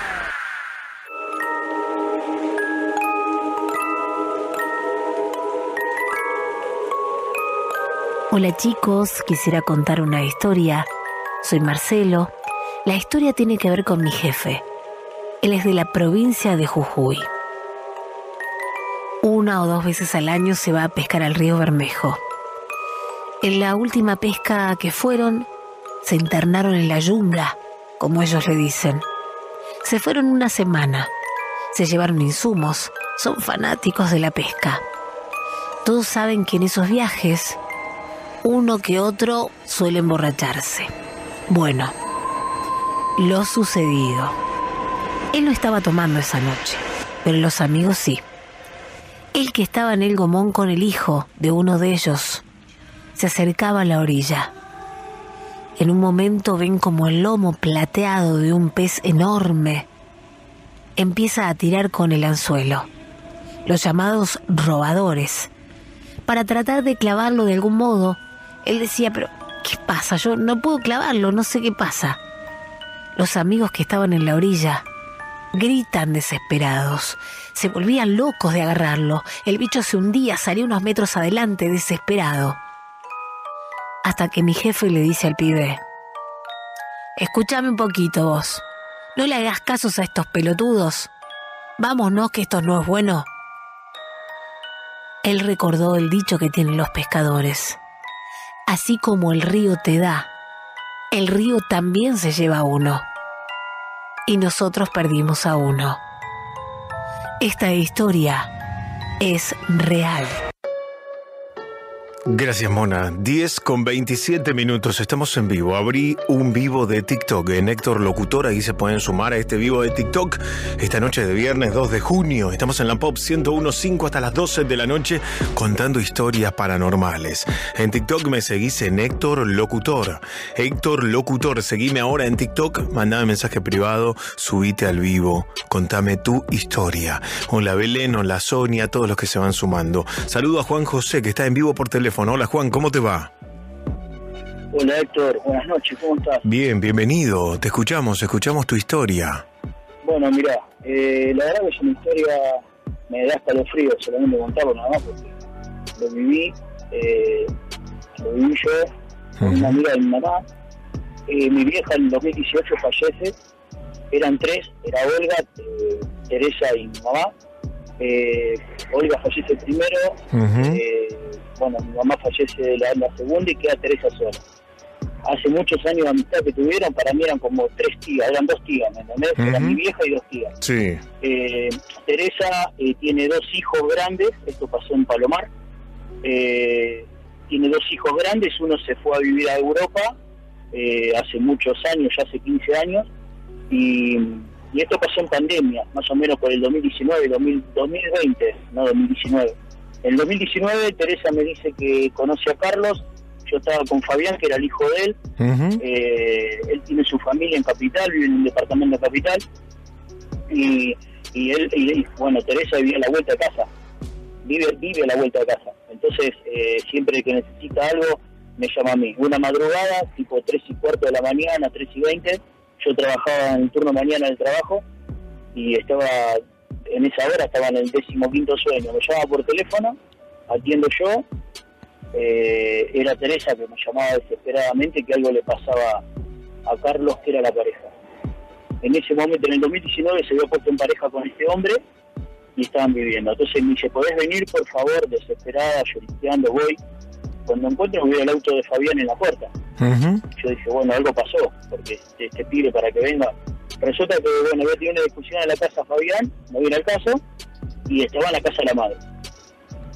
Cuando llego, Fabián es una persona que pesa 100 kilos, 110 Ujú. kilos, mide un metro 75, es, es robusta, es una persona robusta, grandota. Y yo también, más o menos por ahí ando, pero mido un metro 82 y peso 100 kilos también. Eh, cuando entro a la puerta, me abre la puerta Teresa, lo encuentro a Carlos totalmente descontrolado en un, en, una- en un estado de frenesí que no se podía creer, pensé que se había drogado con algo, porque vos lo primero que entendés, no, lo tenía del cogote a Fabián, Uy, con una Dios. sola mano, levantado contra la pared, no entendía nada, ¿entendés? Eh, cuando me acerco, con una sola mano lo revolea a, a Fabián, me lo tira me lo, me lo tira a mí, pero eso no lo puede hacer una persona normal. Ni un esquizofrénico puede hacer eso, ¿me entendés? Tenía una, además de, de que estaba fuera de sí, tenía una fuerza este, sobrehumana, espectacular. Tenía una... so- Sí, era, era Superman. ¿entendés lo que te quiero decir? Sí, sí. Entonces me acerco y cuando me trato para, me tiro para reducirlo o para, cuando yo pertenecía a la fuerza hace muchos años, eh, la- eh, estuve en una fuerza y, y nada, posee defensa personal. Entonces cuando me acerco lo voy a trabar, eh, me pegó un empujón con todo el cuerpo, pero es una persona que mide, es 1,66 lo que mide. Es anormal la fuerza. Claro, claro. Entonces eh, me, me mueve para atrás y yo vuelo para atrás, digamos, en el envión mío vuelvo para atrás y me lleva con Fabián contra la pared. El olor que, me, que, que emanaba de la boca, los ojos, era un olor a podrido, ¿viste? Ese Ujú. olor a azufre Sí. que te descompone, el que no está acostumbrado a oler a azufre, yo no estoy acostumbrado. Me descomponía con solos cuando me hablaba, porque me hablaba y decía eh, cosas que no lo entendía, ¿me entendés? Los ojos eran estaban eran normales, pero eh, totalmente dilatados. ¿me entendés? Sí. Eh, no se le veía el iris, se le veía la córnea toda dilatada completamente. No sabés, no, no, no sabés, no, no podía, no entendía nada, aparte estaba total, estaba dormido, porque imagínate te llaman a las 3 y 20 de la Claro, mañana claro. no, re- no entendés nada de con todo esto. Bueno, eh, Fa- eh, Fabián se tira los pies, lo agarra de los pies, lo pudimos tirar al piso y ahí es cuando pierde todo tipo de fuerza eh, y cae desvanecido en el piso.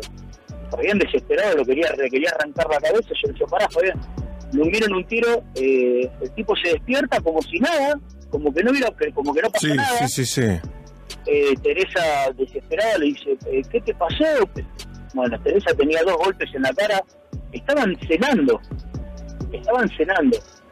Se levantó Carlos al baño y reaccionó, salió de esta manera, Fabián lo quiso parar porque la golpeaba a Teresa, se metió Fabián, no entendían nada los tres, porque la verdad que los dos no entendían nada, y después me llama a mí, desesperadamente por teléfono. Fabián estaba tratando de controlarlo y cuando llego lo tenía agarrado del cuello. Eh, bueno, no pasó nunca más. Fue, yo sé que lo hicieron tratar con un cura, fue a, una iglesia, después este, creo que fue con, una, con un cura exorcista, le dijeron que sí, que había sido poseído. Este, y nada, eh, a mí me dijo un montón de cosas de mi pasado. La información te, te, dijo cosas de tu intimidad. Me pasó información que yo tuve en mi pasado, que solamente yo lo sabía o mi señora, mi mamá que no está más. ¿Me entendés? Sí, sí, claro, claro. Eh, eh, yo cuando me necesitaron a mí para hablar, yo fui a hablar, pero después me dijeron un montón de cosas que tenía que ir y yo no fui nunca más. Es el día de hoy que Carlos está todo bien, no pasó nunca más nada, gracias a Dios, pero eh, lo miro y yo me corre un frío por la espalda porque lo vi yo todo eso. Claro, frente a la cara, ¿me Eso no me lo saca nadie de la, cara, de la cabeza. Gracias por contar la historia, Juan. Te mando un abrazo grande. Gracias, Héctor. Gracias por, por dejármela contar. Te mando un abrazo. Chau, hasta la próxima. Estamos en vivo, ¿eh? 10 de la noche, 35 minutos. Ramiro, ¿cómo te va? Buenas noches. Héctor, buenas noches, ¿cómo estás? Bien, bienvenido, te quiero escuchar, quiero escuchar tu historia. Bueno, esta historia no es mía, sino que me la contó mi abuela. A ver. Mi abuela Francisca. Bueno, esta historia transcurre en el año 1941, en Salta. Ella, allá en el campo, hay muchas leyendas urbanas y demás, eh, eh, de cosas mitológicas, criaturas, y una de las más conocidas es la del pomberito. El pombero, sí, claro. Sí, bueno. Esto pasó después del colegio. Ella y su amiga Ana, que tenía nueve años y mi abuela tenía diez, eh, en ese tiempo se fueron a un pequeño lago, un pequeño lago con piedra y demás. Se fueron a jugar como siempre, como hacían, siempre y jugaban ahí con las ramas y demás. Y bueno, un día mi abuela se había enfermado y no había ido al colegio, estaba muy enferma. Era algo que, no sé, algo había comido y se había intoxicado en esos tiempos. Entonces Ana va sola. Ana eh, va sola, esta vez sin abuela, sin nadie, bueno, juega sola. Eh, según lo que eh, contaron los pueblerinos de ese pueblo hacia Salta, es que Ana estaba junto al lago uno de, de, los uno, de los hombres que estaba eh, acompañando las ovejas en ese, en ese tiempo que se llama Rafael eh, vio a la pequeña Ana junto al lago que se le acercó un ser chiquito un poco más chiquito que, que ella. Y, y no lo vio bien pero tenía como ropa marrona y un sombrerito. Eso es lo que alcanzó a ver. Y como él conocía a mi abuela y a Ana, pensó que era mi abuela. Entonces no le importó y siguió de largo con las ovejas.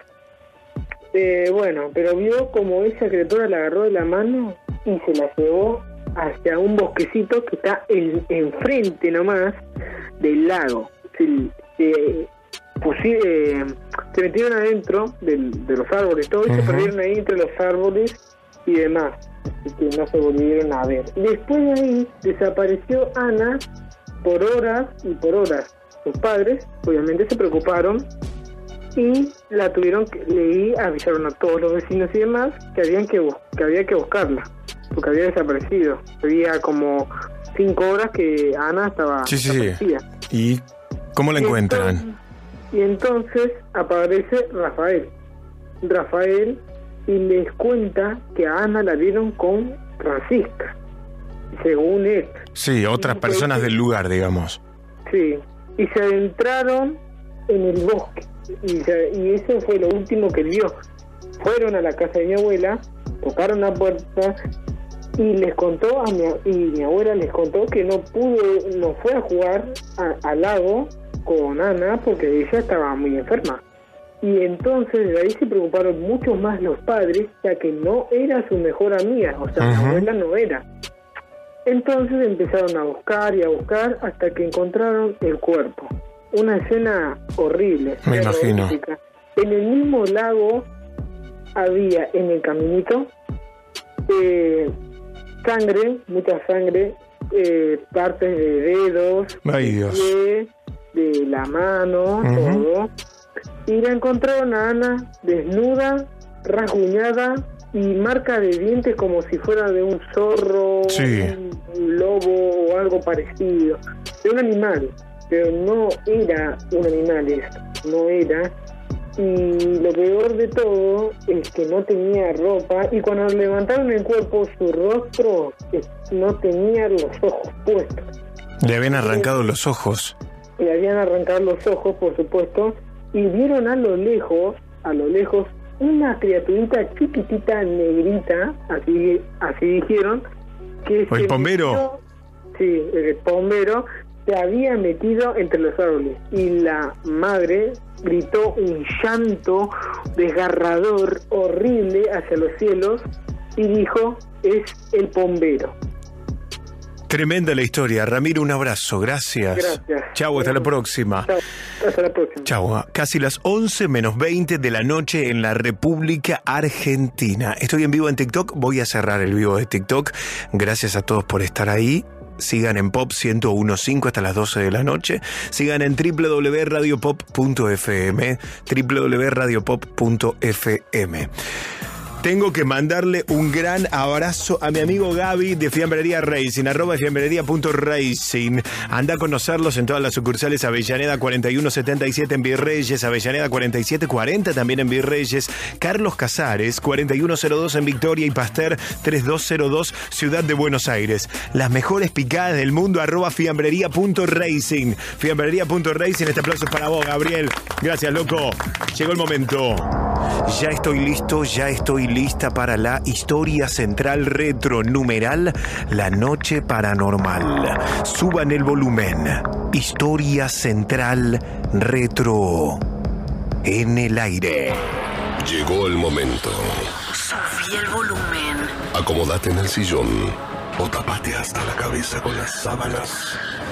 Héctor Rossi relata la historia central de La Noche Paranormal. Esta es la historia real de Vecinos Macabros en primera persona. Me llamo Guido, soy de Buenos Aires. La siguiente historia sucedió a inicios del nuevo milenio. En aquel entonces, yo vivía con mi familia en Villa Martelli, en un departamento de octavo piso. Una mañana de agosto yo estaba llevando a mi hijo al colegio. Fuimos hasta el ascensor. La puerta se abrió y vimos ahí parado, como en un retrato, a una pareja de ancianos. El señor tenía una campera de lana de oveja color marrón, una boina y lentes gruesos. La señora tenía rulos grises y un vestido amarillo que parecía una cortina de baño. Ya me transmitieron algo raro nada más verlos, y eso nada tenía que ver con que jamás los haya visto antes. El señor me miró y amablemente me dijo, ¿Este es el noveno piso? Le dije que no, que era el octavo. La señora lo miró con odio. Volvieron a cerrar la puerta del ascensor y pude escuchar cómo lo insultaba por tocar mal los botones.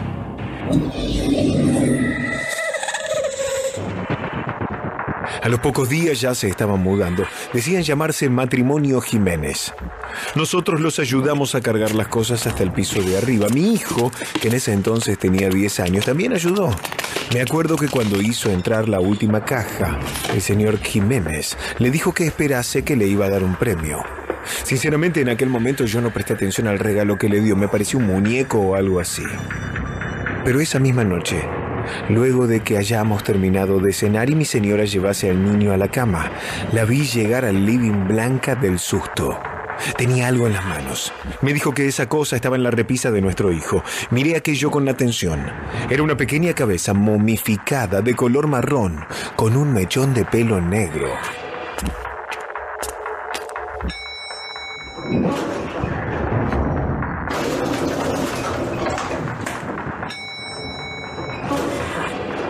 Sin pensarlo dos veces, fui con esa cabeza reducida al piso de arriba. Golpeé enojado la puerta. Jiménez, ábrame. Soy el vecino de abajo.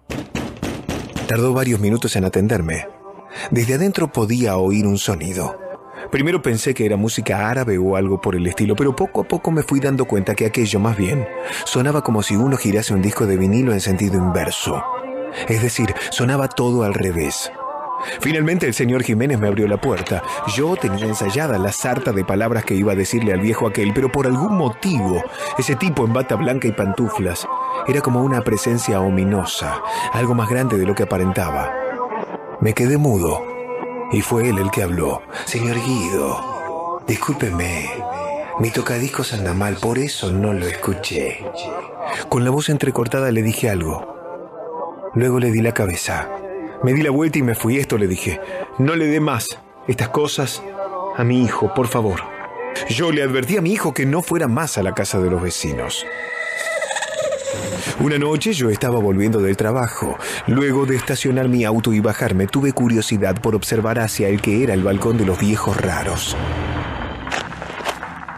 La luz estaba encendida. No había nadie, pero de pronto por el borde de aquel balcón vi la figura de un niño que se asomó y luego volvió a ocultarse. Entré corriendo hasta el ascensor. Cuando llegué a mi casa abrí la puerta de golpe y mi mujer me miró asustada. Fui hasta el cuarto de mi hijo. Él estaba durmiendo profundamente. Yo sabía muy bien que de los vecinos de arriba nadie tenía chicos. Le conté todo a mi esposa, pero ella me dijo que nuestro hijo estaba durmiendo desde hacía varias horas. En otra ocasión, el señor Jiménez bajó en persona hasta nuestro departamento. Esto fue un día sábado. Me dijo que su cocina tenía un escape de gas, que había llamado al encargado, pero que no le contestaba el teléfono. No quise negarme. Corríamos peligro de salir volando por los aires. Le dije que en un momento iba. Busqué mi caja de herramientas y subí mientras mi mujer estaba en el supermercado con mi hijo. Cruzar el umbral de aquel departamento ya me dio muy mala espina.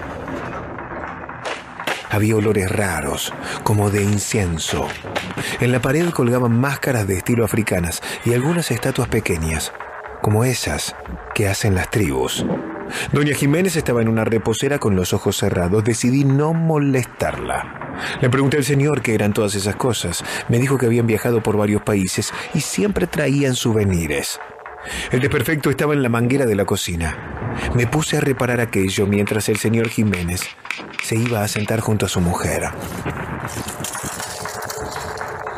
Una vez que terminé, comencé a guardar mis cosas. Entonces escuché algo. Casi como un susurro. Pensé que era una pérdida de gas. Me agaché y asomé mi oído detrás de la cocina, pero no había escape. Escuché lo mismo que la primera vez que fui a esa casa endemoniada. Voces hablando al revés. Junté todo rápido y me dispuse a salir. Iba a decirle al señor que ya estaba todo listo, pero lo encontré profundamente dormido, con un libro en el regazo. No quise despertarlos. Volví muy asustado a mi casa, pero en esa ocasión no le conté nada a mi mujer. Supongo que si mi hijo, que ahora está grande, o ella escuchan esto, quizás tengan miedo cuando recuerden lo del supermercado. ¿Quieren saber por qué? Esto fue lo que me contó mi hijo cuando vino corriendo a darme un abrazo después de dejar las bolsas en el suelo. Papá, vimos a los señores Jiménez en el súper. Me dijo el señor que vos sos un capo, que le arreglaste el gas, que tenemos que juntarnos a comer todos. Después doblaron por un pasillo y no los vi más. No quise contarle a mi familia que yo había estado en la casa con la pareja, pero el pánico iba a venir solo. No recuerdo si lo que voy a contar ahora llegó a salir en las noticias locales. Esto fue posterior a la crisis de 2001, cuando había muchos otros quilombos en el país. Los Jiménez habían ido al centro, estaban bajando de un taxi cuando un ladrón intoxicado hasta la nuca quiso robar el vehículo. Los testigos dicen que los ancianos no ofrecieron resistencia, pero que el delincuente de igual modo los reventó a tiros cuando el conductor salió corriendo.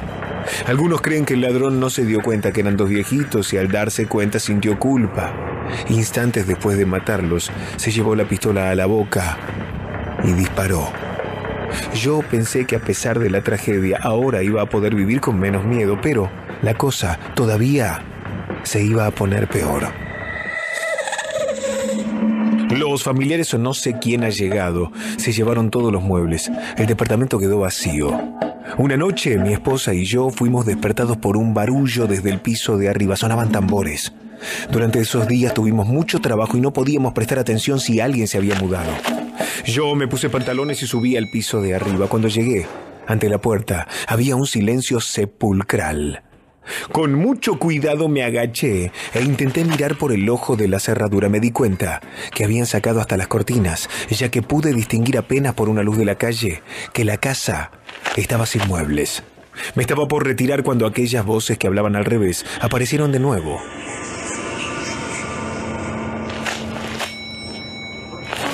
Un frío me recorrió todo el cuerpo. Volví a mi casa y como un niño que tiene miedo, abracé fuerte a mi esposa. Nosotros nos terminamos mudando, pero solo debido a motivos económicos derivados de la crisis. Sin embargo, aquel departamento diabólico nos iba a dejar un acto final. Fue poco antes de mudarnos. Al departamento de arriba se estaban por cambiar una madre soltera y su pequeño hijo. Me acuerdo que nosotros hablamos con ella el día que lo había ido a ver. La mujer parecía muy buena. Ese día nos dijo que debía ir a la farmacia si podíamos cuidar a sus chicos. Nosotros le dijimos que sí. Ellos fueron con juguetes al departamento vacío. Nosotros nos quedamos tomando mate en la terraza que estaba al final del pasillo. Escuchamos un grito. Fuimos corriendo. Ambos nenes chillaban. Preguntamos qué pasó. Enseñándome su mano, el niño me mostró su dedo y marcas de dientes. Yo le clavé una mirada a mi hijo, pero el otro dijo que él no había sido, que fue la cabeza mala. Me puse pálido. Miré al suelo. Ahí estaba. Esa cabeza reducida. Agarré esa porquería usando una bolsa como si fuese mierda de perro y la tiré por el inodoro. Mi hijo me juró que él no la había traído, que cuando llegaron la cosa estaba ahí. Yo le creí, sobre todo cuando meses después ocurrió una tragedia. Por motivos que desconozco, no se terminaron mudando. Pero sí volví a saber de ellos un tiempo después. La madre le hizo cosas terribles a su hijo y se terminó suicidando. Fue un caso bastante resonante en aquellos años, pero no quiero dar detalles. Ya mucho tiempo cargamos nosotros con esa rara maldición. Hasta la llegada de la pubertad, mi hijo afirmaba ser visitado por aquellos ancianos. También me reveló que los ancianos le habían enseñado a salir de su cuerpo. Por suerte, cuando entró en la adolescencia comenzó a interesarse más por las mujeres y aquello fue como una amnesia para él. Pero yo jamás voy a olvidar todo lo que pasó. Cada vez que veo personas nuevas mudándose, rezo a Dios que no sean unos vecinos macabros. Esta historia es real. Hola Rosy, sí, soy el mismo que te habló del el tema de la muerte, este, no el esqueleto ese que yo veía, me pasó siempre de chico, de grande también. Resulta que últimamente pasó algo raro acá en, en mi casa, ya de grande y ya con familia e hijos. En una fiesta de Navidad sacando fotos, al otro día reproduciéndola, vimos que había una imagen muy, muy rara detrás de una de mis hijas, la más chiquita. Lo raro de todo esto fue que nosotros creíamos que era algo raro, pero claro, era una foto media movida y era mi hermano con una foto de, John Lennon con anteojos y todo esa. Entonces el movimiento parecía algo raro. Cuestión que al año siguiente, prácticamente a la misma fecha, murió mi hermana. Hola, buenas noches. Te quería contar mi, historia paranormal. Soy de la ciudad de Tandil, me llamo Marcelo. Te cuento que trabajo en una cárcel penitenciaria en el cual fue un cerro en el cual tuvieron que rellenarlo con tierra movida. Y te cuento mi historia, que cada vez que entraba a trabajar eh, de noche, porque mi turno era de noche, cuando entraba al penal tenía que hacer más o menos 200 metros caminando hasta el fondo y me acompañaba cada vez que entraba un hombre todo de negro y con un cajón de muerto a las rastras. Esta es mi historia paranormal. Esto me pasó muy seguido. Gracias. 11 27 84 1073. Buenas noches. Bueno, les cuento lo que nos pasó el día viernes. Yo estaba en mi cuarto con la luz apagada, con el celular, mandando un audio y de repente veo que mi hijo se para a observarme. Entonces yo empecé a como a querer hacer chistes en el audio para ver la reacción de él. Y bueno, cuando me doy vuelta para ver su reacción, veo que se fue. Entonces voy al cuarto de él y estaba jugando, estaba jugando a la Play. Y le digo, ¿por qué estabas escuchando mi conversación, lo que yo estaba mandando? ¿Qué? Me dice. Y nada, era una persona que estaba, que estaba ahí. Yo sentí su presencia, su respiración, todo. O sea, no me generó mala vibra, pero la sentí muy cerca. Y muchas veces mi hijo me ha dicho que ha visto esa misma esa misma, sensación que yo tuve. Así que bueno, nunca me había pasado de tenerlo tan, pero tan cerca. Y bueno, en la casa donde yo vivo cuentan los vecinos de que hace muchos años pasó algo raro acá. Pero bueno, esa es la historia que quería contarles. Hola Adrián, soy de Zona Sur. Mira, te cuento una historia que he vivido. Me habían regalado un ropero, estoy hablando hace unos 4 o 5 años atrás, y, y traía en la pieza. Bueno, ese día estaba con mi hijo mirando la tele, pero así de la nada, ¿no? De abajo de la cama de mis hijos salió un puntito negro. Y, y se metió debajo del, justo del ropero este que teníamos ahí que me habían regalado. Y así de la nada se escucharon tres golpes. Pap, pap. Lo agarré y lo miré a mi hijo y le digo, ¿vos escuchaste lo que yo escuché? Sí, me dice viejo, pero no viste el puntito que vi yo. Era como una, ¿cómo decirte? Una nubecita negra chiquita. Pero bueno, de ese día, así lo que escuchamos esa noche con mi hijo, agarré el otro día, voló el ropero. Para mí que algo le había quedado en ese ropero de la gente que me lo había regalado. Encima un ropero viejo, con esos espejos al frente. Y bueno, ese día lo hice desaparecer el ropero y nunca más escuchamos nada. Pero bueno, qué cosa de loco. Hoy en día no, nunca más se escucha más nada. Pero bueno, yo quedé con esa secuela. de lo que vi y lo que escuché. Pero bueno, yo no soy creyente de lo, lo paranormal, pero bueno. Y aparte, bueno, antes lo escuchaba y hoy retorné de nuevo como trabajo en seguridad y bueno, y me tocó de noche. Así que buenas noches y gracias por escucharme. Viví al aire, una nueva hora en 1015. Son las 11 de la noche. Estás en la pop. Interios malditos. Carreteras llenas de almas en pena. Casas embrujadas. Acá no hay ficción. Hay historias reales. Estás en la noche paranormal.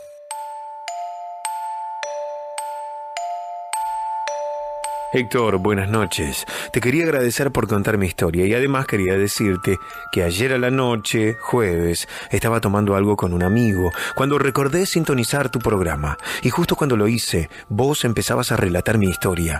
No sé si fue casualidad o causalidad por las energías del universo. Mis amigos y yo no podíamos creer. Justo sintonizo el programa y pasabas mi historia. Gracias.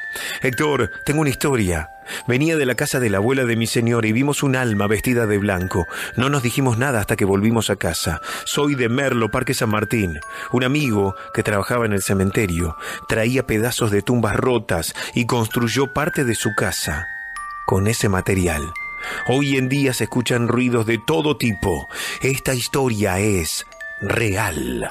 Hola Héctor, buenas noches. Sabes que estaba escuchando el programa y nada, quería comentarte que sí, a mí también me pasan cosas de que escucho el programa, pero nada, cosas buenas o en el sentido igual a veces me siento medio vigilado por las noches cuando llego a mi casa. Yo laburo el turno noche acá en una fábrica. Yo soy muy religioso igual, voy a la iglesia todos los domingos y nada, yo sentía muchas energías malas, sentía muchas vibras feas y acá nada, mis compañeros me decían que en la fábrica habían pasaban cosas raras, que una vez unos compañeros estaban durmiendo en el vestuario y que un compañero que se llama Nicolás le dijo, Nico, dale, levántate, porque estaban en el, descanso ellos. Dijo, dale, levántate que ya es la hora. Y le habla al compañero que estaba al lado, que se llama Leandro, y le dice, che, Leandro, ¿para qué me levantás? Me dice, no, no, yo no te levanté. Me dice, boludo, recién me dijiste para que ya está, que ya había terminado el descanso. Y le digo, no, no, no, yo no te hablé. Y bueno, cuestión que Nico se había cagado hasta las patas y salió del vestuario y nada, siguió el día después normal, pero estaba recagado hasta las patas porque alguien sintió de verdad que alguien lo llamó, que alguien le habló en el oído y me lo cuenta y le cuenta a todos los de la fábrica que fue un suceso muy, muy de verdad que pasó. Y otra cosa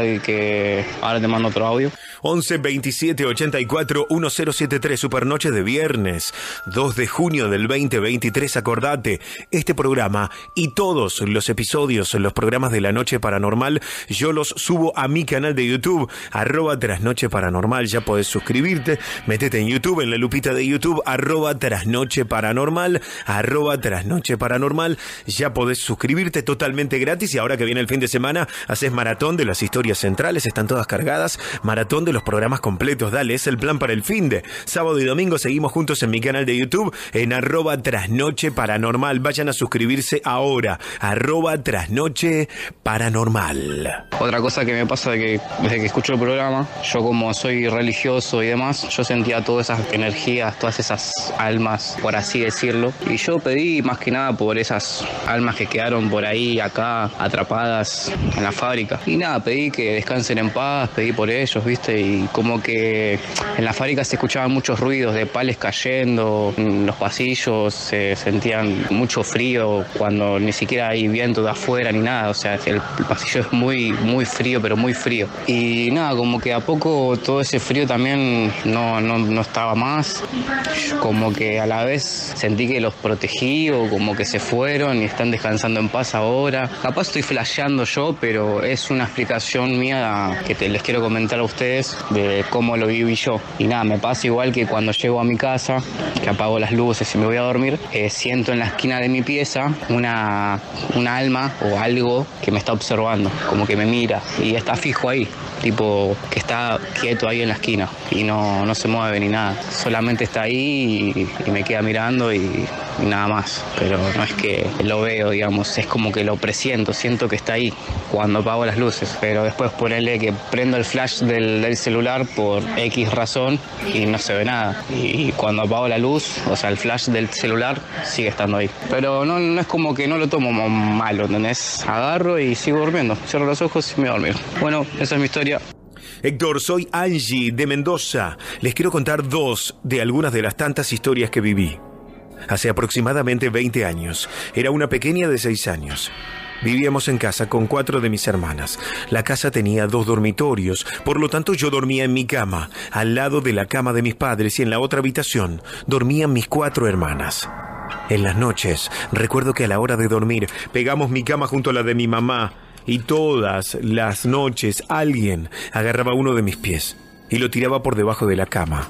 Así ocurrió muchas veces. Mis hermanas escuchaban llorar a un bebé adentro del placard. Hasta que un día mi padre se cansó de que mis hermanas no podían dormir y cuando se levanta a medianoche ve salir debajo de la cama un bulto negro que iba hacia la cocina, como saltando. Fueron dos días, decidimos mudarnos. A la hora de irnos eran como las 7 de la tarde. Mi papá estaba apagando las luces cuando se le apareció un bebé con una cara extraña. Se paró. Empezó a reír diabólicamente. Mi padre salió dejando algunas cosas porque dice que fue realmente impresionante lo que vio. Esta es una de las tantas historias que tengo para contarles. Espero que puedan compartirla.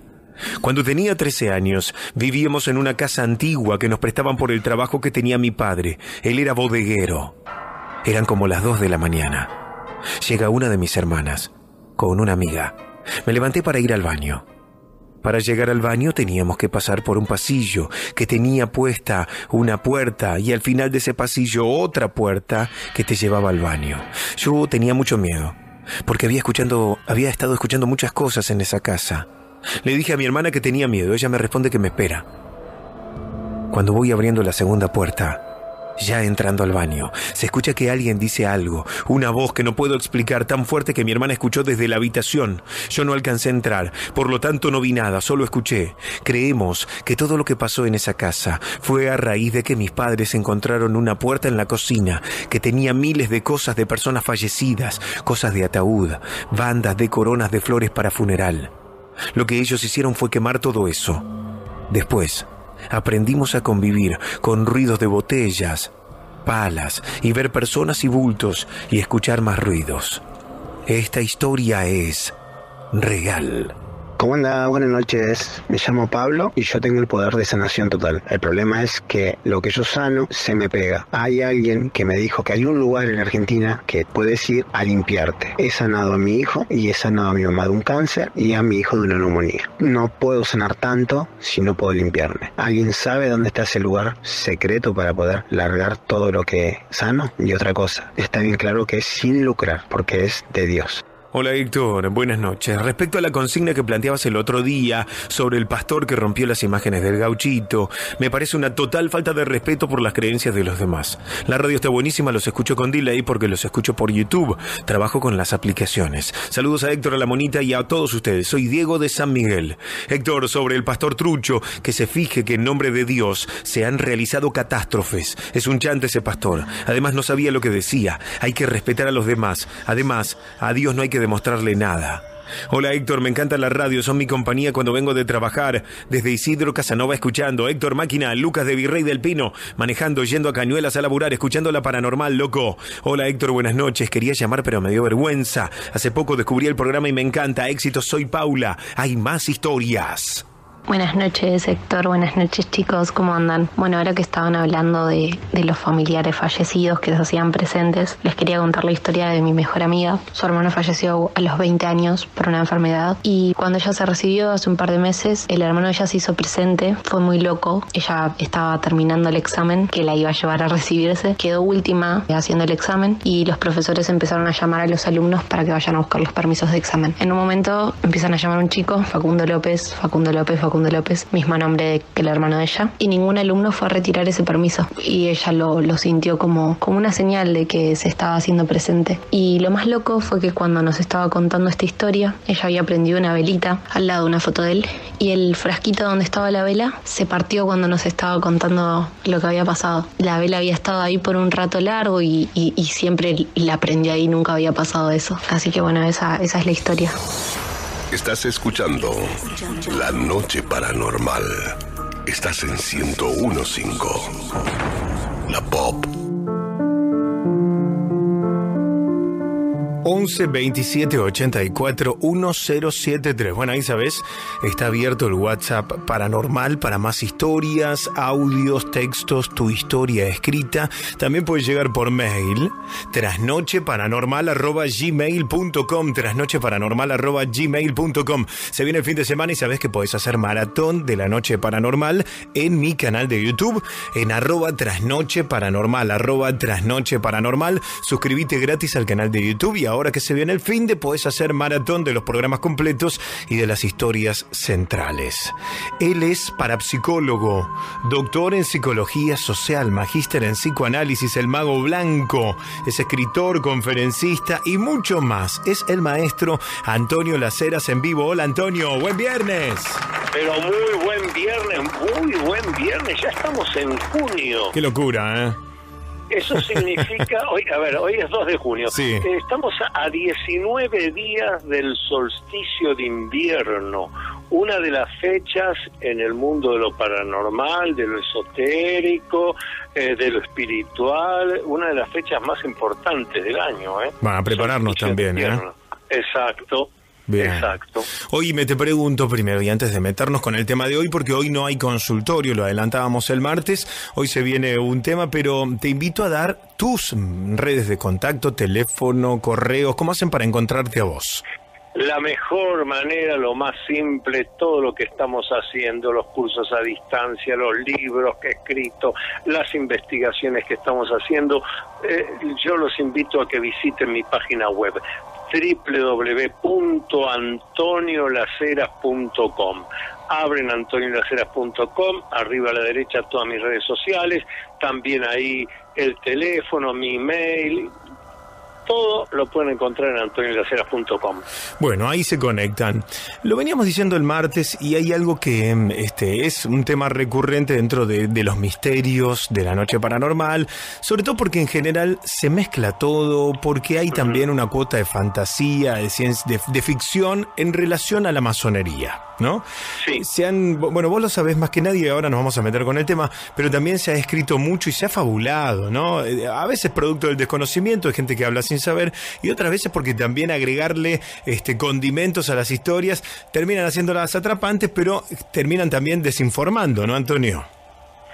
En general sí, en general sí. Eh, si vamos a hablar de, de la masonería, eh, fíjate que lo primero que hay una gran confusión es el origen de la masonería. En general se habla de la etapa llamada moderna, Sí. es decir, la que ocurre en la Edad Media, allá por el 1600 en Europa, pero sin embargo la masonería como sociedad secreta, iniciática, si empezamos a buscar hacia atrás, yo no tendría dificultad en llevarte a las eh, escuelas de misterios de Egipto, a las escuelas de misterios de Grecia, de Roma, de todas ellas son eh, herederas la masonería de la cual tanto se está hablando. sí, Claro. O sea, em, pa- para empezar a meternos en el tema, te tengo que hacer algunas preguntas. Son algunas de las preguntas que fueron llegando durante este tiempo en el programa, que las separamos y en lugar de ponerlas en el consultorio, las juntamos para esta noche de viernes Claro. especial. La primera tiene que ver con, con el objetivo. ¿Por qué existen estas sociedades secretas? ¿Qué es lo que hacen? ¿A qué se dedican? ¿No? Digo, hay ahí como, como un gran misterio del que por eso te decía, también se agrega mucho. ¿Qué es lo que pasa en esos encuentros? Bueno, fíjate que si, para comenzar, desde aquellos orígenes que señalé recién, Egipto, Grecia, Roma, para después venir hacia la actualidad. ¿Qué eran, como vos dijiste, qué, qué eran esas sociedades secretas? ¿Por qué eran secretas? Precisamente porque, llamale templos, talleres, monasterios, el nombre que le quieras dar, ahí se reunía la gente, y digo gente porque ya desde la más remota antigüedad se trataba tanto de varones como de mujeres, no solo de varones, varones y mujeres, que buscaban desarrollar todas estas cosas que en Noche Paranormal siempre nos preguntan. Cómo desarrollar las facultades parapsicológicas, cómo vivir en armonía, cómo encontrar cuál es la razón y el motivo por la cual yo estoy vivo en un momento eh, de- de- del universo y en un lugar determinado. Todas estas búsquedas trascendentes no eran para cualquiera. Requieren un entrenamiento, requieren un trabajo personal y entonces llamadas sociedades secretas, llamadas escuelas iniciáticas, ahora vamos a explicar lo de iniciáticas, o escuelas de sabiduría. Iniciática, ¿por qué? Porque significa que haces un ingreso a un conocimiento que es paranormal. Hasta te diría que la palabra extranormal Sí. es mejor. Porque Extra normal. Claro, porque el prefijo griego para es al lado de lo normal. Sí. No, no, esto es extraordinariamente Claro. fuera de lo normal. Claro. Fíjate, ahora algún oyente nos dirá, bueno, pero, pero- pero ¿por qué estoy hablando de Egipto? Bueno, una de las escuelas iniciáticas eh, de Egipto más famosas fue la del templo de Sais. Me pasó varias veces en la Feria del Libro este año. Sí. Eh, estábamos hablando y sale el tema de la Atlántida. Entonces miro a la gente y les digo, bueno, ¿les interesa la Atlántida? Sí, claro, sí, el misterio de la Atlántida. Bueno, pero ustedes saben de dónde viene la historia de la Atlántida. Porque ahí están conectados, ahí hay relación entre estas sociedades secretas y, y la Atlántida. Ah, ¿qué te parece? Y lo que me salva alguna que otra persona, en general, eh, no, bueno, hemos escuchado, no, no, hay solamente nosotros conocemos la historia de la Atlántida, la referencia de la Atlántida, solamente por un autor, que fue Platón. Platón, en dos de sus diálogos, Critias y el Timeo, habla de la Atlántida, pero dice que el conocimiento de la Atlántida le llegó por un colega de él, filósofo, que fue Solón, que el abuelo de Solón le dijo a Solón, y esto es lo que cuenta Platón, que siendo él iniciado en el templo de Sais en Egipto, los sacerdotes le contaron de la existencia de una isla grande rodeada de otras más pequeñas, más allá de la columna de Hércules, o sea, en el Océano Atlántico, eh, que había desarrollado una ciencia y una tecnología notable, que en determinado momento esa isla se hundió, que los atlantes tan desarrollados pudieron irse a tiempo, pero fíjate vos, yo que he recorrido todo Egipto, se puede ir a la zona de Sais, ahí es donde estuvo el último, la última sociedad secreta, escuela de sabiduría iniciática pública que tuvo Egipto. Cuando los egipcios se dieron cuenta que griegos, romanos le querían robar todos estos conocimientos, se volvieron de vuelta secretos. Pero qué interesante que el conocimiento de la Atlántida nos llega, en el único lugar que nos llega es por el conocimiento que se obtiene en una de estas sociedades iniciáticas. Claro. Estamos en vivo en la noche paranormal en este super viernes 2 de junio hablando de masonería. Hace unos días se cumplió obviamente lo, celebramos en Argentina, lo recordamos, un aniversario de los hechos de mayo de 1810, y hay muchos libros de historia que afirman directamente que la Revolución de Mayo la hicieron miembros de una sociedad secreta de masonería. ¿Hasta dónde es cierto esto, Antonio? Absolutamente cierto. Yo lo dejé escrito también en mi libro Belgrano y la masonería. Fíjate, eh, cuando vos ves los nombres y apellidos de todos los que nos lo han enseñado de la escuela primaria, secundaria, es decir, participaron en mayo de 1810, menos Ascuénaga, que no lo era, todo lo demás, Mariano Moreno, Manuel Belgrano, el nombre que quieras, todos eran maestros masones. Y ahora te voy a agregar otro dato más muy interesante. En la historia académica, la historia oficial, digamos, se dice que, bueno, a raíz de que eh, Napoleón había invadido el reino de España, había depuesto al rey, había puesto como rey a su hermano Pepe Botella, le decían, este, eh, bueno, eh, entonces se empezaron a crear consejos de regencia y aquí, en el Virreinato del Río de la Plata, se dijo, bueno, nosotros también tenemos que crear un Consejo de Regencia y de ahí salió la idea de independizarnos del Reino de España. Bueno, en mil, esto fue en 1810. Sin embargo, y esto pocos lo saben, por eso es tan importante decirlo hablando de masonería, en 1795 15 años antes de mayo de 1810, en otra cosa que me gusta señalar, la aldea de Buenos Aires.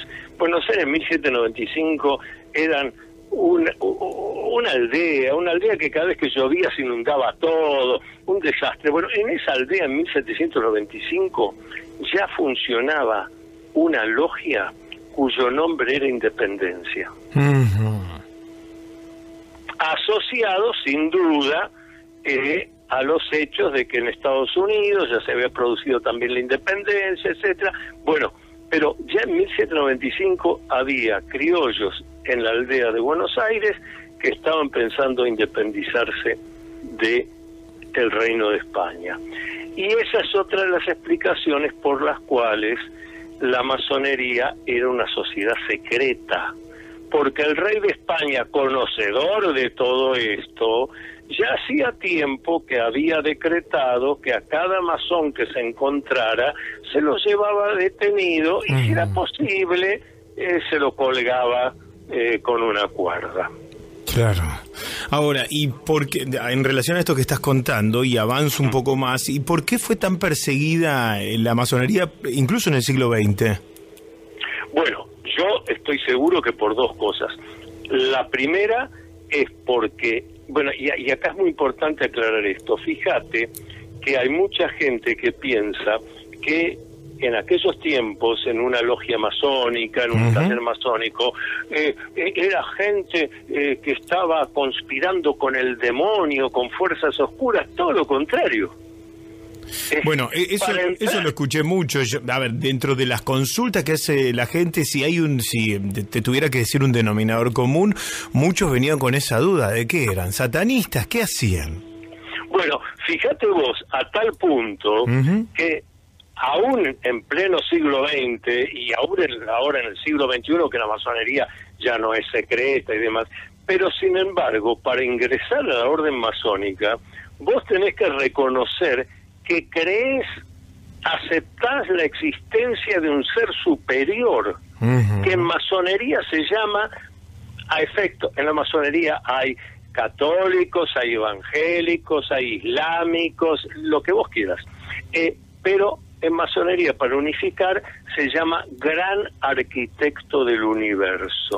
O sea, yo he conocido maestros masones, eh, por ejemplo, eh, licenciados en física, gente que todo lo reduce a lo físico-químico, pero que han llegado a ser maestros masones porque en, en el ritual de iniciación, cuando le han preguntado, bueno, usted acepta la existencia de algo superior. Ah, por supuesto, miren las leyes del universo, algo rige todo esto, suficiente. Pero usted está admitiendo que hay una fuerza luminosa, ordenadora, superior. Entonces, cuando la gente, quizás por desinformación, piensa que en un taller masónico eh, se conspira contra las fuerzas de, de la luz, no, no, todo lo contrario. Y yo diría que por eso ha sido tan perseguida. Te doy un ejemplo, me hablabas del siglo XX. ¿Quiénes persiguieron a la masonería en el siglo XX? ¿Quiénes persiguieron a los masones? ¿Quiénes decretaron que si se descubría un masón se lo metía preso, se lo colgaba, se lo fusilaba? José Stalin, Adolfo Hitler, Benito Mussolini y Francisco Franco. ¿No les dice algo todo esto? Claro, claro, personas que hicieron daño, ¿no? si queremos que- titular. Claro, ¿por qué? Porque el otro, el primer aspecto de, de un masón es que busca desarrollar su espíritu, la filosofía, encontrar su lugar y rol en el universo, muy bien. Pero además, un masón ante todo se define como una un libre pensador, como una persona de libre pensamiento. Entonces, en todo lugar donde hay una tiranía, donde se quiere imponer un dogma, donde no se quiere que haya eh, discusión de ideas, bueno, la masonería fue perseguida. Y ahora, en el último tiempo, hoy en día, de hecho, los masones dan entrevistas, salen por tele, por radio, ya no es un misterio, ya no hay secreto. A tal punto, pero ahora vamos a aclarar esto. Muy buen, muy bueno este punto que me tratás. Porque, por ejemplo, en la Argentina, en la Argentina conviven, yo diría que 12, 15 grandes logias, la más conocida, la Gran Logia de la Argentina de Libres Aceptados Masones, que es una asociación civil sin fines de lucro, inscripta en la Inspección General de Justicia y que cada año presenta su memoria y balance. Claro. Por eso ellos mismos dicen, eh, somos una entidad discreta, no andamos difundiendo quién es cada uno de los miembros, pero no hay, no hay ahí ningún secretismo. Pero a su vez hay una docena más de, de- de grandes orientes, grandes logias. Por ejemplo, la que yo mencioné recién solo acepta eh, la inscripción de varones. Pero también hay tres grandes logias que solo aceptan mujeres. Claro. Hay, hay otra, eh, a ver eh, si me acuerdo, por ejemplo, la Orden Masónica Mixta Internacional del Derecho Humano, que está acá en la Argentina, que fue fundada en Francia eh, allá por 1800 y tantos, que desde su fundación acepta varones y mujeres. La gran logia simbólica de la Argentina, que tiene su gran templo en Córdoba, tiene logias solo de varones, solo de mujeres y logias mixtas. Es decir, todo se acepta.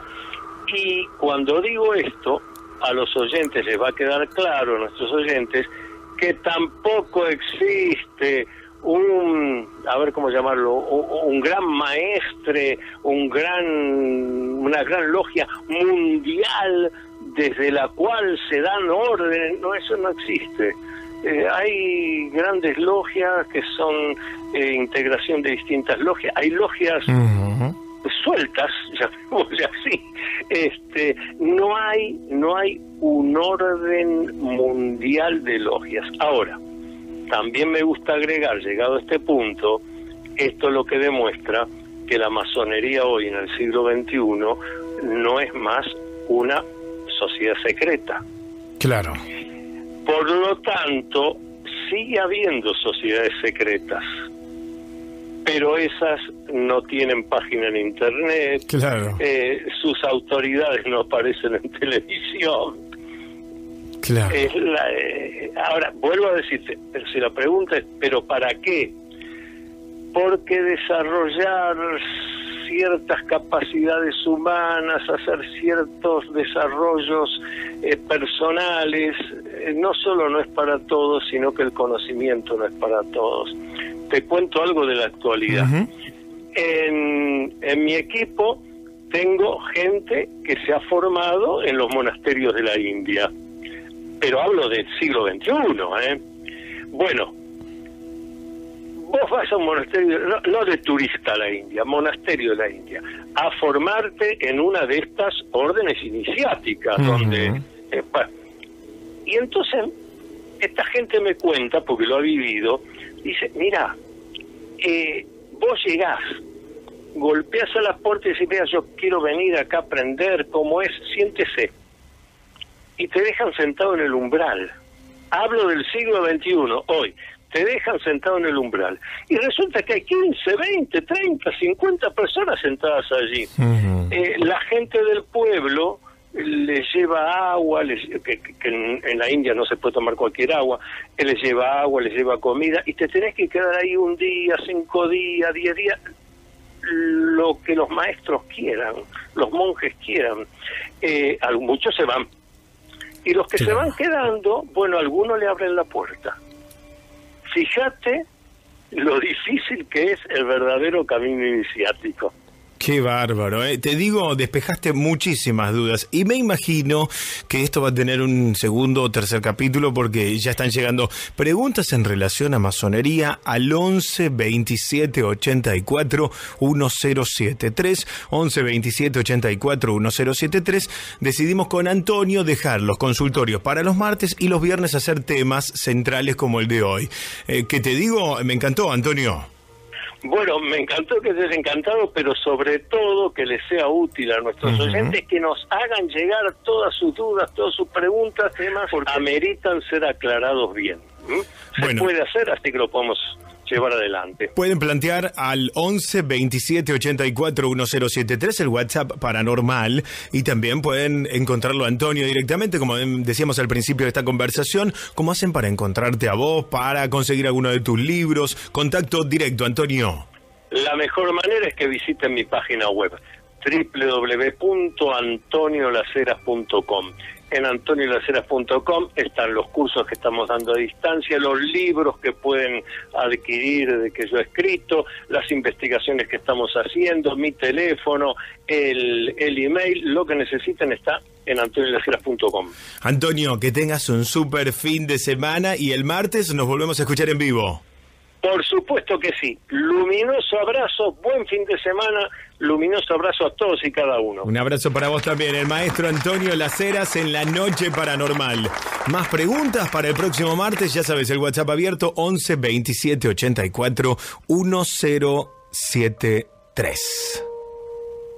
Hola, ¿cómo estás? Mi nombre es Antonella, soy de Dolores, provincia de Buenos Aires. Quería contar una de las tantas cosas que me ha pasado paranormal. Una es, bueno, yo hace tres años perdí a mis abuelos y a mi tío. Mi abuelo fue en enero, cinco meses después mi abuela, así de golpe, ¿eh? mi abuela de tristeza. Y al año que siguió, hace unos meses después, mi tío, después de pelear con un cáncer fatal, a los tres meses de que muere mi tío, yo como que nadie podía asimilar lo que había pasado, porque las tres muertes fueron muy fuertes, muy repentinas. Por ahí lo de mi tío, por ahí uno se lo esperaba, pero tenía fe de que, de que no. Y tres meses de que él murió, yo tuve un sueño en el que los veía a mis abuelos todos de blanco en el patio de mi casa y se veía a mi tío de costadito, como muy agarrado a mi abuela. Y los veía de blanco y yo me traje de la casa de ellos una planta que se llama romero, la trasplanté acá, o sea, me la dio mi tío dos meses antes de él morir y la trasplanté acá y cuando él muere empezó a crecer, empezó a crecer, empezó a crecer, empezó a crecer, empezó a crecer re rápido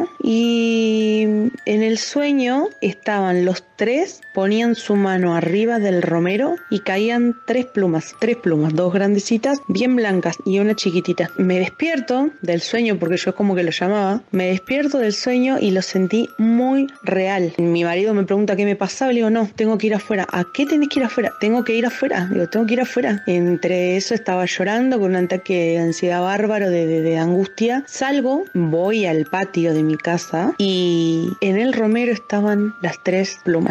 Las tres plumas estaban. Tengo las fotos, si vos querés yo te la puedo mandar, pero fue, fue algo increíble. Después le conté la historia a mi mamá, pues eran los papás y el hermano de ella. Le di una de las plumas a ella, dos, y una me la guardé yo, que todavía la tengo, pero fue increíble. Y así mil cosas que nos han pasado con colibrí, con, con una mariposa blanca que viene, aparece de la nada acá en mi casa y justo en el, en el cuadro de mis abuelos se posa ahí todo el tiempo. Tengo videos también, pero es, es increíble, es creer o reventar. La verdad es tremendo. Después te voy a, contar otra que ya esa es un poco más turbia, más que me da a pensar, me da miedo, pero en esas tres muertes y en la muerte de, del abuelo de mi marido, nos pasó que una semana antes, a la madrugada, nos golpeaban la puerta. Nosotros tenemos planta alta y nos asomábamos y no se veía nada. No había nadie en la puerta. O sea, ¿quién golpeó? No había nadie, el perro no había ladrado, nada. Y así nos pasó tres veces. Con mi abuelo nos pasó con lo de mi abuela, lo de mi tío y con la muerte del abuelo de, de mi marido, que una semana o 15 días antes nos golpeaban la puerta de casa y no sabíamos qué era hasta que yo busqué en internet y, decía como que te están avisando, te están anunciando algo, que algo malo va a pasar. Y la verdad le tengo terror, te quedas con un montón de miedo, no quedas bien. Yo producto de eso, de toda esa situación, sufro de ataque de ansiedad, horrible, horrible, horrible, horrible. Pero bueno, son cosas que es creer o reventar. Y bueno, te dejo una de las tantas historias que para mí es la más linda que es esa. Después nos ha pasado con muchas canciones, o sea, con una canción, pero muchas veces en momentos claves que empieza a sonar de la nada la canción. Nos pasó en el cementerio. Mi abuelo le encantaba mucho la canción de Fito Páez, Mariposa Tecnicolor. Y nos pasó en el cementerio que empezó a sonar solo, de ir, no sé, a, una, a un estudio médico y que mientras estabas viajando eh, escuchás esa canción. Una canción que hoy en día no es popular como lo fue en, su momento.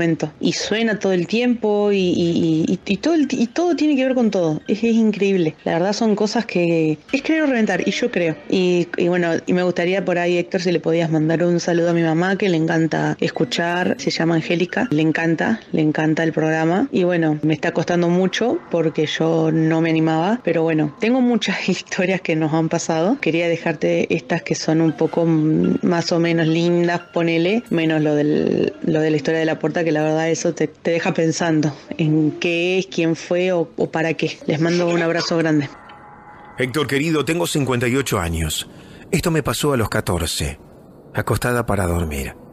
Al pie de la cama apareció una nube pequeña que empezó a agrandarse y apareció un ángel hermoso que me hablaba telepáticamente, diciendo que me daría éxito, felicidad y salud para toda la familia. Solo le tenía que decir sí, nada más. Me quedé mirándolo asombrada y no le contestaba. Él me insistía que le dijera que sí. Al no contestar, me empezó a amenazar que toda mi familia lo iba a pasar muy mal. Eso me asustó y ese ángel empezó a cambiar su mirada maléfica y su sonrisa diabólica. Empecé a rezar y no podía recordar el final del Padre Nuestro. Intenté varias veces y se reía hasta que pude terminar el rezo y empezó a desaparecer. Lloré y grité y mis padres me llevaron a dormir con ellos. Se los conté y no me creyeron.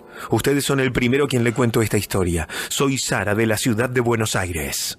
Hola, buenas noches Héctor, mi nombre es Jeremías, soy de Quilmes. Bueno, quería contar mi historia, lo que me pasó con mi novia camino a Entre Ríos. La cuestión es que paramos en una parrilla a almorzar al mediodía. Bueno, terminamos de almorzar, seguimos camino a, a Concepción del Uruguay. Cuando en eso cruzamos el santuario de Gilda. Mi novia me pide parar porque quería conocer y bueno, nada, le dije que no, que cuando volvíamos paramos en el santuario así ella lo veía. Bueno, cuando regresamos volvíamos para Buenos Aires, puse en el GPS el, el santuario, bueno, me iba, iba guiando y nunca llegamos, siempre me marcaba 10 minutos del lugar y nunca llegamos, nunca llegamos. La cuestión que llegamos a la parrilla, donde estuvimos en la ida a Entre Ríos y digo, qué raro, no cruzamos el santuario, digo, ya llegamos a la parrilla, frenamos nuevo en esa parrilla, bueno, y seguimos y en eso me marcaba como que todavía faltaba el santuario. Digo, qué raro que falte el santuario si nosotros habíamos comido primero y después cruzamos el santuario. Me dice, qué raro, me dice. Y digo, me sigues marcando que me falta 10 minutos y ya hicimos bastante kilómetros. Bueno, la cuestión es que salimos de esa parrilla y en camino a Buenos Aires no aparece de una el santuario. Y en el GPS me seguía marcando que faltaba 10 minutos para llegar. Bueno, paramos en el santuario, todo oscuro, no había un alma, un nadie en la ruta, todo oscuro. Y paramos ahí y como que empecé a presentir como, como que había algo. No me gustó la vibra del lugar. Y le digo, bueno, vamos no, vamos no. Me dice, yo me quiero sacar una foto. Bueno, le saco una foto, le tomo una foto a ella en el santuario y no me gustaba, me puse a, a poner incómodo. Como que sentía presencia de algo. La cuestión es que arrancamos, cuando llegamos a Buenos Aires, digo, qué feo esa sensación de estar ahí en el santuario. La cuestión es que en el santuario, cuando veo la foto, veo una imagen de una persona, que ahí te estoy enviando la foto. La verdad, como que yo presentí que había alguien en ese lugar y no sé qué, qué, qué onda, pero bueno, te envié la foto para que la analice y veas y dé tu opinión. Muchas gracias, muy bueno el programa y bueno, nada, eso, esta es mi historia del santuario de Gilda. Héctor, soy Nicolás.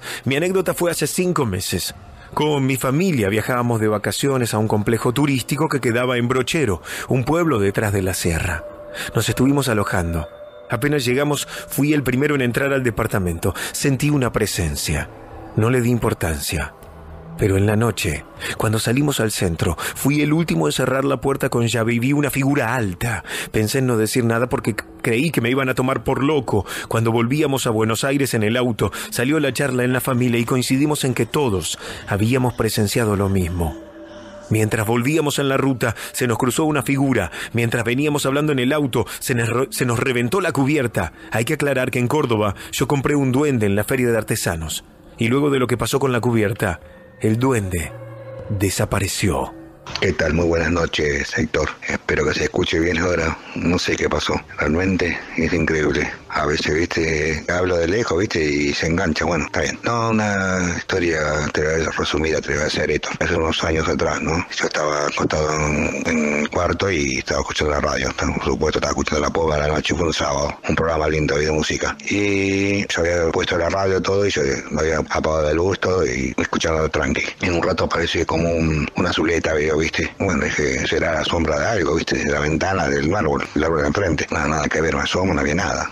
A acostarme y a segundo veo un, veo, viste, una silueta, viste, puede ser, viste. Al rato ya veo como que un cuerpo, ya viste, como una persona que estaba ahí, viste, Héctor, y era una amiga. Bueno, estaba vestida bien, viste, peinada, todo, estaba con, yo que me recuerdo, eh, color azulcito, violeta, no recuerdo bien ahora. Y, bueno, Héctor, y al otro día llamó a, a tu celular y no me atiende, a la tarde. Después llamó a la noche, de nuevo, y me atiende la madre y le expliqué, viste, que sabe que llama su hija y todo, que y no me atendía, y habrá pasado algo, le dije, no. Le digo, y me dice, mira, no te voy a dar el nombre, no puedo, viste. Le pregunto que pasó algo, me dice la madre, mira, ella falleció cinco días, mira vos, increíble esta, la verdad, tremendo. Vos sabés que las personas que mueren por accidente o suicidio o la matan, viste, esa gente, esos espíritus quedan, viste, varios años en la tierra, viste. Y bueno, esto, me dijo la madre que no me quería explicar nada, viste, que estaba en condiciones, me sentía muy mal que otro día le llame y no llamé más, viste, Héctor.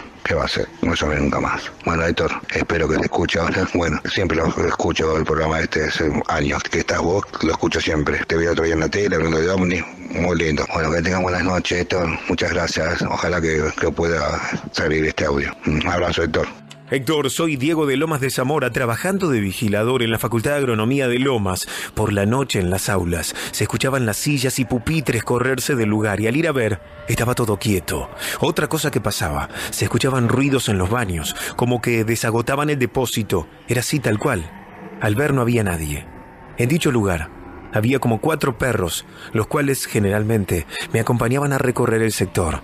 Afuera es como una especie de bosque. Yo sentía presencias, como que me miraban, pero nunca vi nada. Y hubo muchas veces que los perros no querían acompañarme a recorrer, y esas veces que iba, además de sentir presencias, se me erizaba toda la piel. Esta historia es real.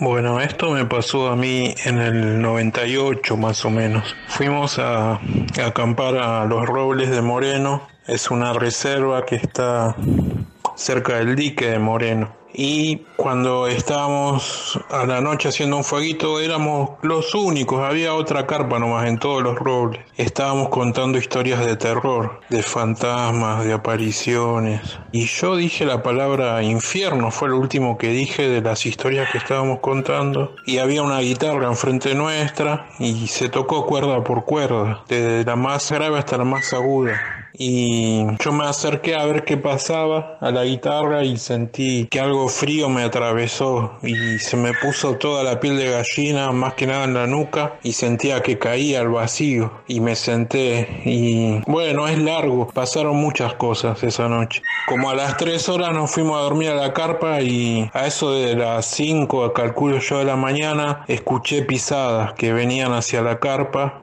parecía que hacían temblar el piso las pisadas, como que era algo muy pesado y hacía crujir el pasto. Y había un perro que lloraba al lado de la carpa. Y dio toda una vuelta bien despacio alrededor de la carpa. Mis dos amigos que estaban conmigo se durmieron, yo estaba despierto. Y dio la vuelta bien despacio y paró atrás mío justo. Y ahí empezó a respirar. Era una cosa que nunca escuché en mi vida, o sea, no era un perro, no era nada, era tenía como un eco muy profundo la respiración. Casi me agarró un paro cardíaco a mí. Bueno, después nos pasaron miles de cosas. Después de que pasó eso en nuestras casas, a, a mí a mis amigos. Pero bueno, era eso solo. Te quería contar, Héctor. Gracias por el programa, la primera vez que lo escucho y la primera vez que mando un mensaje a una radio.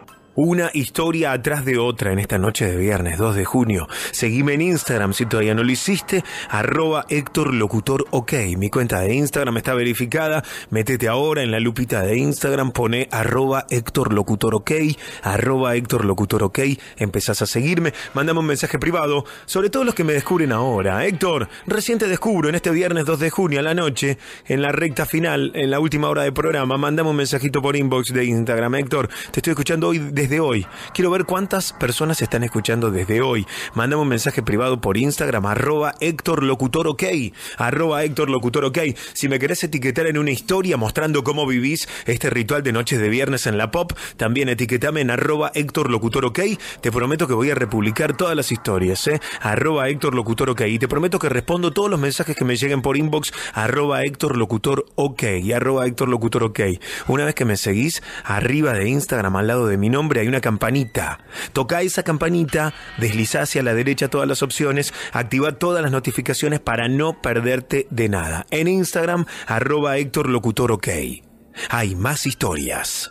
¿Qué tal? Buenas noches. Bueno, yo quiero contar mi historia. Soy de Tandil. Cuando éramos chicos víamos una casita al fondo. Tenía una entrada grande de 30 metros hacia la vereda. Y nosotros teníamos el cuadro ese del niño que llora. No sé si han escuchado de ese cuadro que trae maldición y destrucción de hogar. Cuando éramos chicos, cuando era chico pasaban muchas cosas ahí. Una de ellas que pasó a mi viejo, que estaba a la noche en la cocina con mi mamá y una amiga y vio cómo se movía el picaporte de la entrada de la casa. Mi viejo salió afuera pensando que era algún conocido de él. Al frente había un club donde mi viejo concurría mucho, el querido y famoso Club Ransen de acá de Tandil, y no había nadie. Y después sintió cómo lo llamaban a él, Alejandro, y salió afuera rápido mi viejo pensando que era un tío mío o algo. Y después a mi mamá, Cristina, y no había nadie. Y otras cosas que pasaban ahí es cuando a las 3 de la mañana yo siempre me largaba a llorar. Todas las noches a las 3 de la mañana me largaba a llorar, y una vez mi viejo se queda despierto, y antes de las 3 de la mañana había una sombra que estaba en la, en la pieza de él, se avalancha sobre él, lo deja sin aire, ¿no? Como que no puede respirar. Y después como que la sombra se va y se va a la cuna donde estoy yo y ahí empiezo a llorar. Bueno, después trajeron pastores evangélicos para que limpien la casa, me acuerdo clarito yo de verlo a todos reunidos haciendo una ronda en la cama. Y otra cosa que me pasó también a mí, que hoy en día no sé si es un sueño, porque fue tan real, pero yo me acuerdo que estaba durmiendo en la cama de mis viejos y en la cuna dormía mi hermano con tres camperas colgadas. Y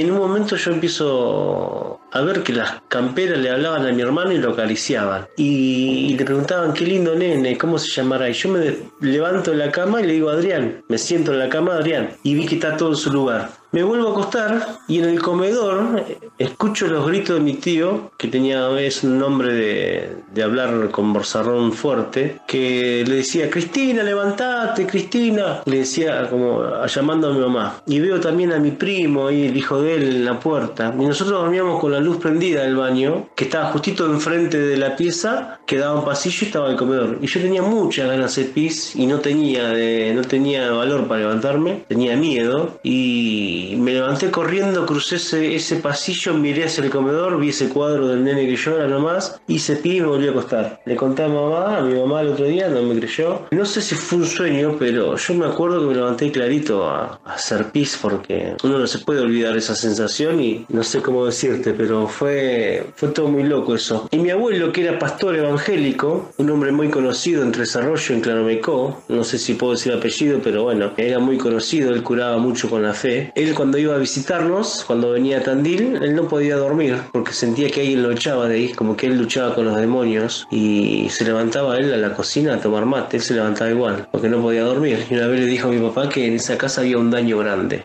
tenía un daño de dos mujeres. Bueno, esa es mi experiencia, pasó en el año 82 más o menos, ya hace bastante, así que bueno, empecé a escuchar la radio estos días, escucho mucho, miro los, los programas viejos, me encanta, y bueno, te mando un abrazo grande. Estás escuchando La Noche Paranormal. Estás en 1015. La Pop. La radio no se hace responsable de lo que suceda. Desde este momento todo, hasta la medianoche. Pasar cosas paranormales. Cosas paranormales. Pasar cosas paranormales. Y empiezan a pasar cosas anormales. Ahora empieza el microprograma que te deja maquinando. Hasta su próxima edición. Héctor, querido, estoy escuchando las declaraciones explosivas. ¿Qué te parece si salimos del closet juntos, mi mamá? No, loco, no, Ñeri, vengo manejando re manija y vos me la cortás con el adelanto. No, Héctor, ponete las pilas, papá. Héctor, soy Pérez Walter de Tristan Suárez. Un saludo, abrazos. Yo quería inaugurar en las eh, Sí. chicas del puerto, ¿Con qué volumen canción? 3. Eh, con alguna canción que no. Puerto Montt. Me encanta. Las olas y el viento, sucundum, sucundum, y el frío del mar. Ay, me gusta, me gusta. Que hagan todos el Me hacen tiritar. Bueno, la gente del otro di- eh, del otro lado del dial eh, desmayándose. ¿Cómo Bueno, están, mami, chicas? Bienvenidas. que ocho no la contra. ¿Cómo? Que cambien el dial nunca tenés Me que tienen decir, harta. mona. Bueno, pues si se quejan mucho me tienen Pero harta. no sé por qué la gente, viste que Sigan quieren los manejar buenos. maquinando. No, mami, Todo el maquinando mundo es una. maneja maquinando. Hasta el director que La tenemos señora acá de- Ruiz es la única conductora. Exactamente, se llama maquinando por algo. A la Chicas, maquineta nos bienvenidas. subimos. Sí, Eso. Bien, las chicas. Eh, bienvenidas a Zul y Cintia. Gracias. Gracias por venir un viernes a esta hora que podrían ganas, estar. eh. Tenían alto plan no las dos. podíamos perder en maquinando. Sí, pero no, se postergan los planes por el maquinando. Podrían Obvio. estar en cuatro Siempre, con sí. dos Cuatro, lobos ah, salvajes. no, Ah, estar poco. Sí, en realidad después vamos a los lobos. o sea, Ah. Claro. Es postergar, no cancelar. Ay, que me llevan. Dale, todos invitados. Porque yo llego y está mi perrita, que es una Buenísimo. cosita así, una No, bolita de pelo. La amo, que es Rocky, pero es nena.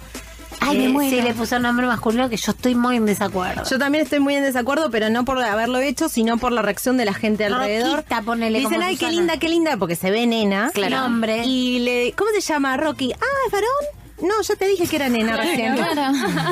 Se llama Rocky porque Rocky hubo uno solo, era un personaje de ficción. Sí. Y era un tipo, bueno, casualidad, podría haber sido. Rocky. Ariel de la sirenita es Ariel. Ariel, y es exactamente. chica. Se tienen que Y- quejar con Disney. mira, Fui a ver a Ariel, chicas. ¿Fuiste? Al- eh, ahí. Hermosa, Ariel, una belleza.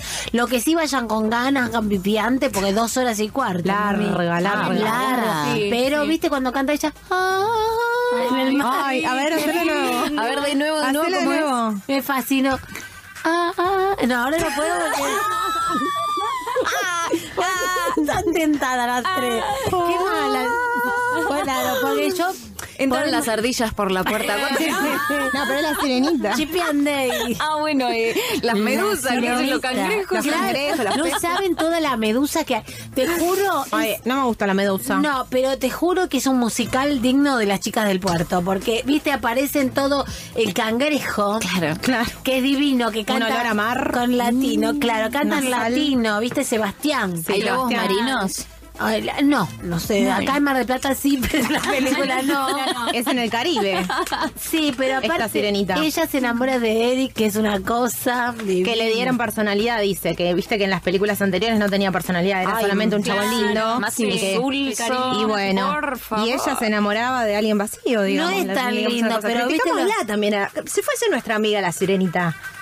Cambió toda su vida por un forro. Y sí, Perdón no fue la palabra. forro, él era amoroso igual. Él era amoroso, pero no tenía Sí, personalidad, medio- no medio valía la pena. Claro, era que chupar un clavo, ¿no? Y ahora Pero supuestamente en esta nueva película que yo todavía no vi porque nadie me invitó, así que acepto invitaciones, Ahí va. eh, dicen que le dieron eh, más eh, personalidad. Primero que fue criticada porque es una chica de color, la sirenita. Claro, eso también cambió. Eso cambió Claro, mucho. Y según los científicos, las sirenas no son de color, De color. ¿no? Como sarcásticamente, ¿no? Le Claro. estoy usando porque hay gente que dice, ay, no, la hicieron, tenía que ser blanca, pero por el Caribe, no porque como era en el Caribe, no. la gente en el Caribe es más oscura. Claro. Dijeron. Mueven el culo a lo loco sí. porque hay mucha canción latina, mucha tumbadora. Claro, me está- encanta.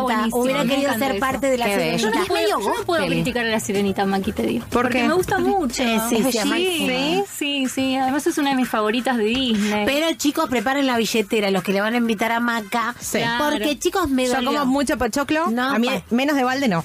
No, por eso, esperen. ¿Saben cuánto pagué? No tengo el ticket real. No, anda a buscarlo. Pero eh, creo que, o sea, no llega a 11 mil, pero pagué 10 y pico y me pareció una barbaridad. Para, que para, sea ¿el balde? para ir al ¿Los cine. pochoclos? No, todo, pero Ah, igual, chicas. a claro, ver, fui sí. con mi hija nada más.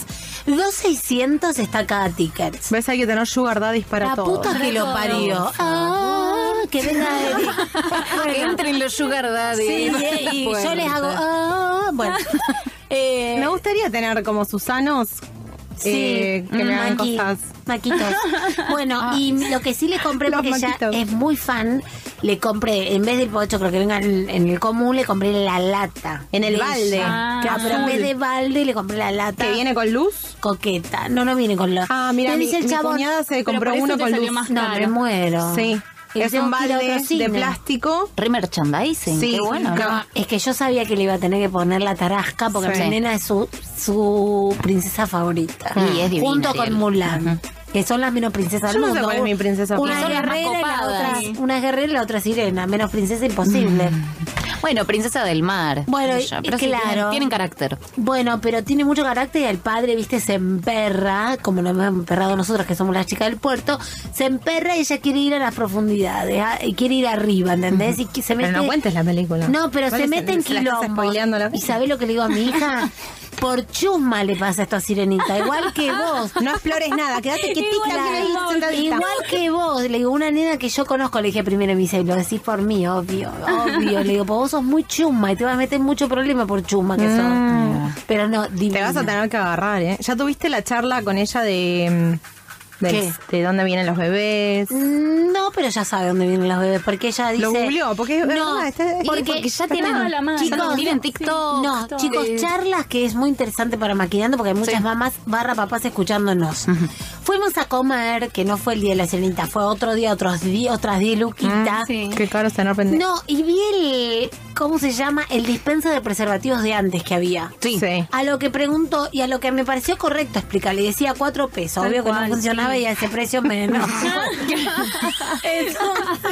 ¿Pero que fuiste un museo? Yo le dije, no, fui porque ha quedado como si fuera el, viste, como una cabinita que decía. Claro, de baño, de los baños. Vintage, Me parece vintage. vintage. Para, Y ese mismo día le expliqué la, la cabina telefónica, ella haciendo así, marcando. Ay, espectacular, un viaje en el tiempo. Me muero, chicos, pero no fue hace tanto. Bueno, entonces le expliqué, es la protección, le expliqué, es la protección. Y no solo por no querer tener bebés el día de mañana. Me dice, cuando hacen el delicioso, porque le dicen el deli. Ay, me ay, no, La no, amo. no. ¿El deli? Le No, dicen el deli. Cuando hacen el deli, Me sí, puede. le dije yo.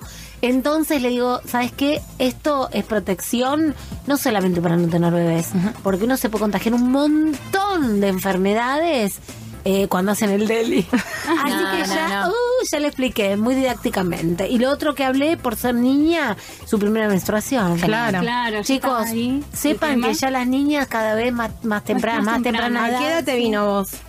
Qué tema desagradable para los 12. ¿A vos, sí? También a los 12. Ah, mira. Sí, es como chicas, que ¿a yo vos? sentía que no, No, me a venía mí- nunca. Ya la mayoría de mis compañeras le venía, les venía a los 10, a los 9. Sí. a los Ay, sí, yo 9. tengo una amiga que a los Y yo 9 sentía, años, no re temprano, sí. más. Chicas, ahora a los 9. A mí a los la 13. ansiedad porque te ven. No, a mí a los 15 y medio. Ay, Vamos, ¿qué tarde, sí. Pero tenías algo hormonal. Eh, a, mi- a mi vieja también, 16 años más o menos. Es generacional, generacional, sí. Rodrigo le está encantando este tema ¿Te de la gustó, ¿Te gustó el programa, Rodri?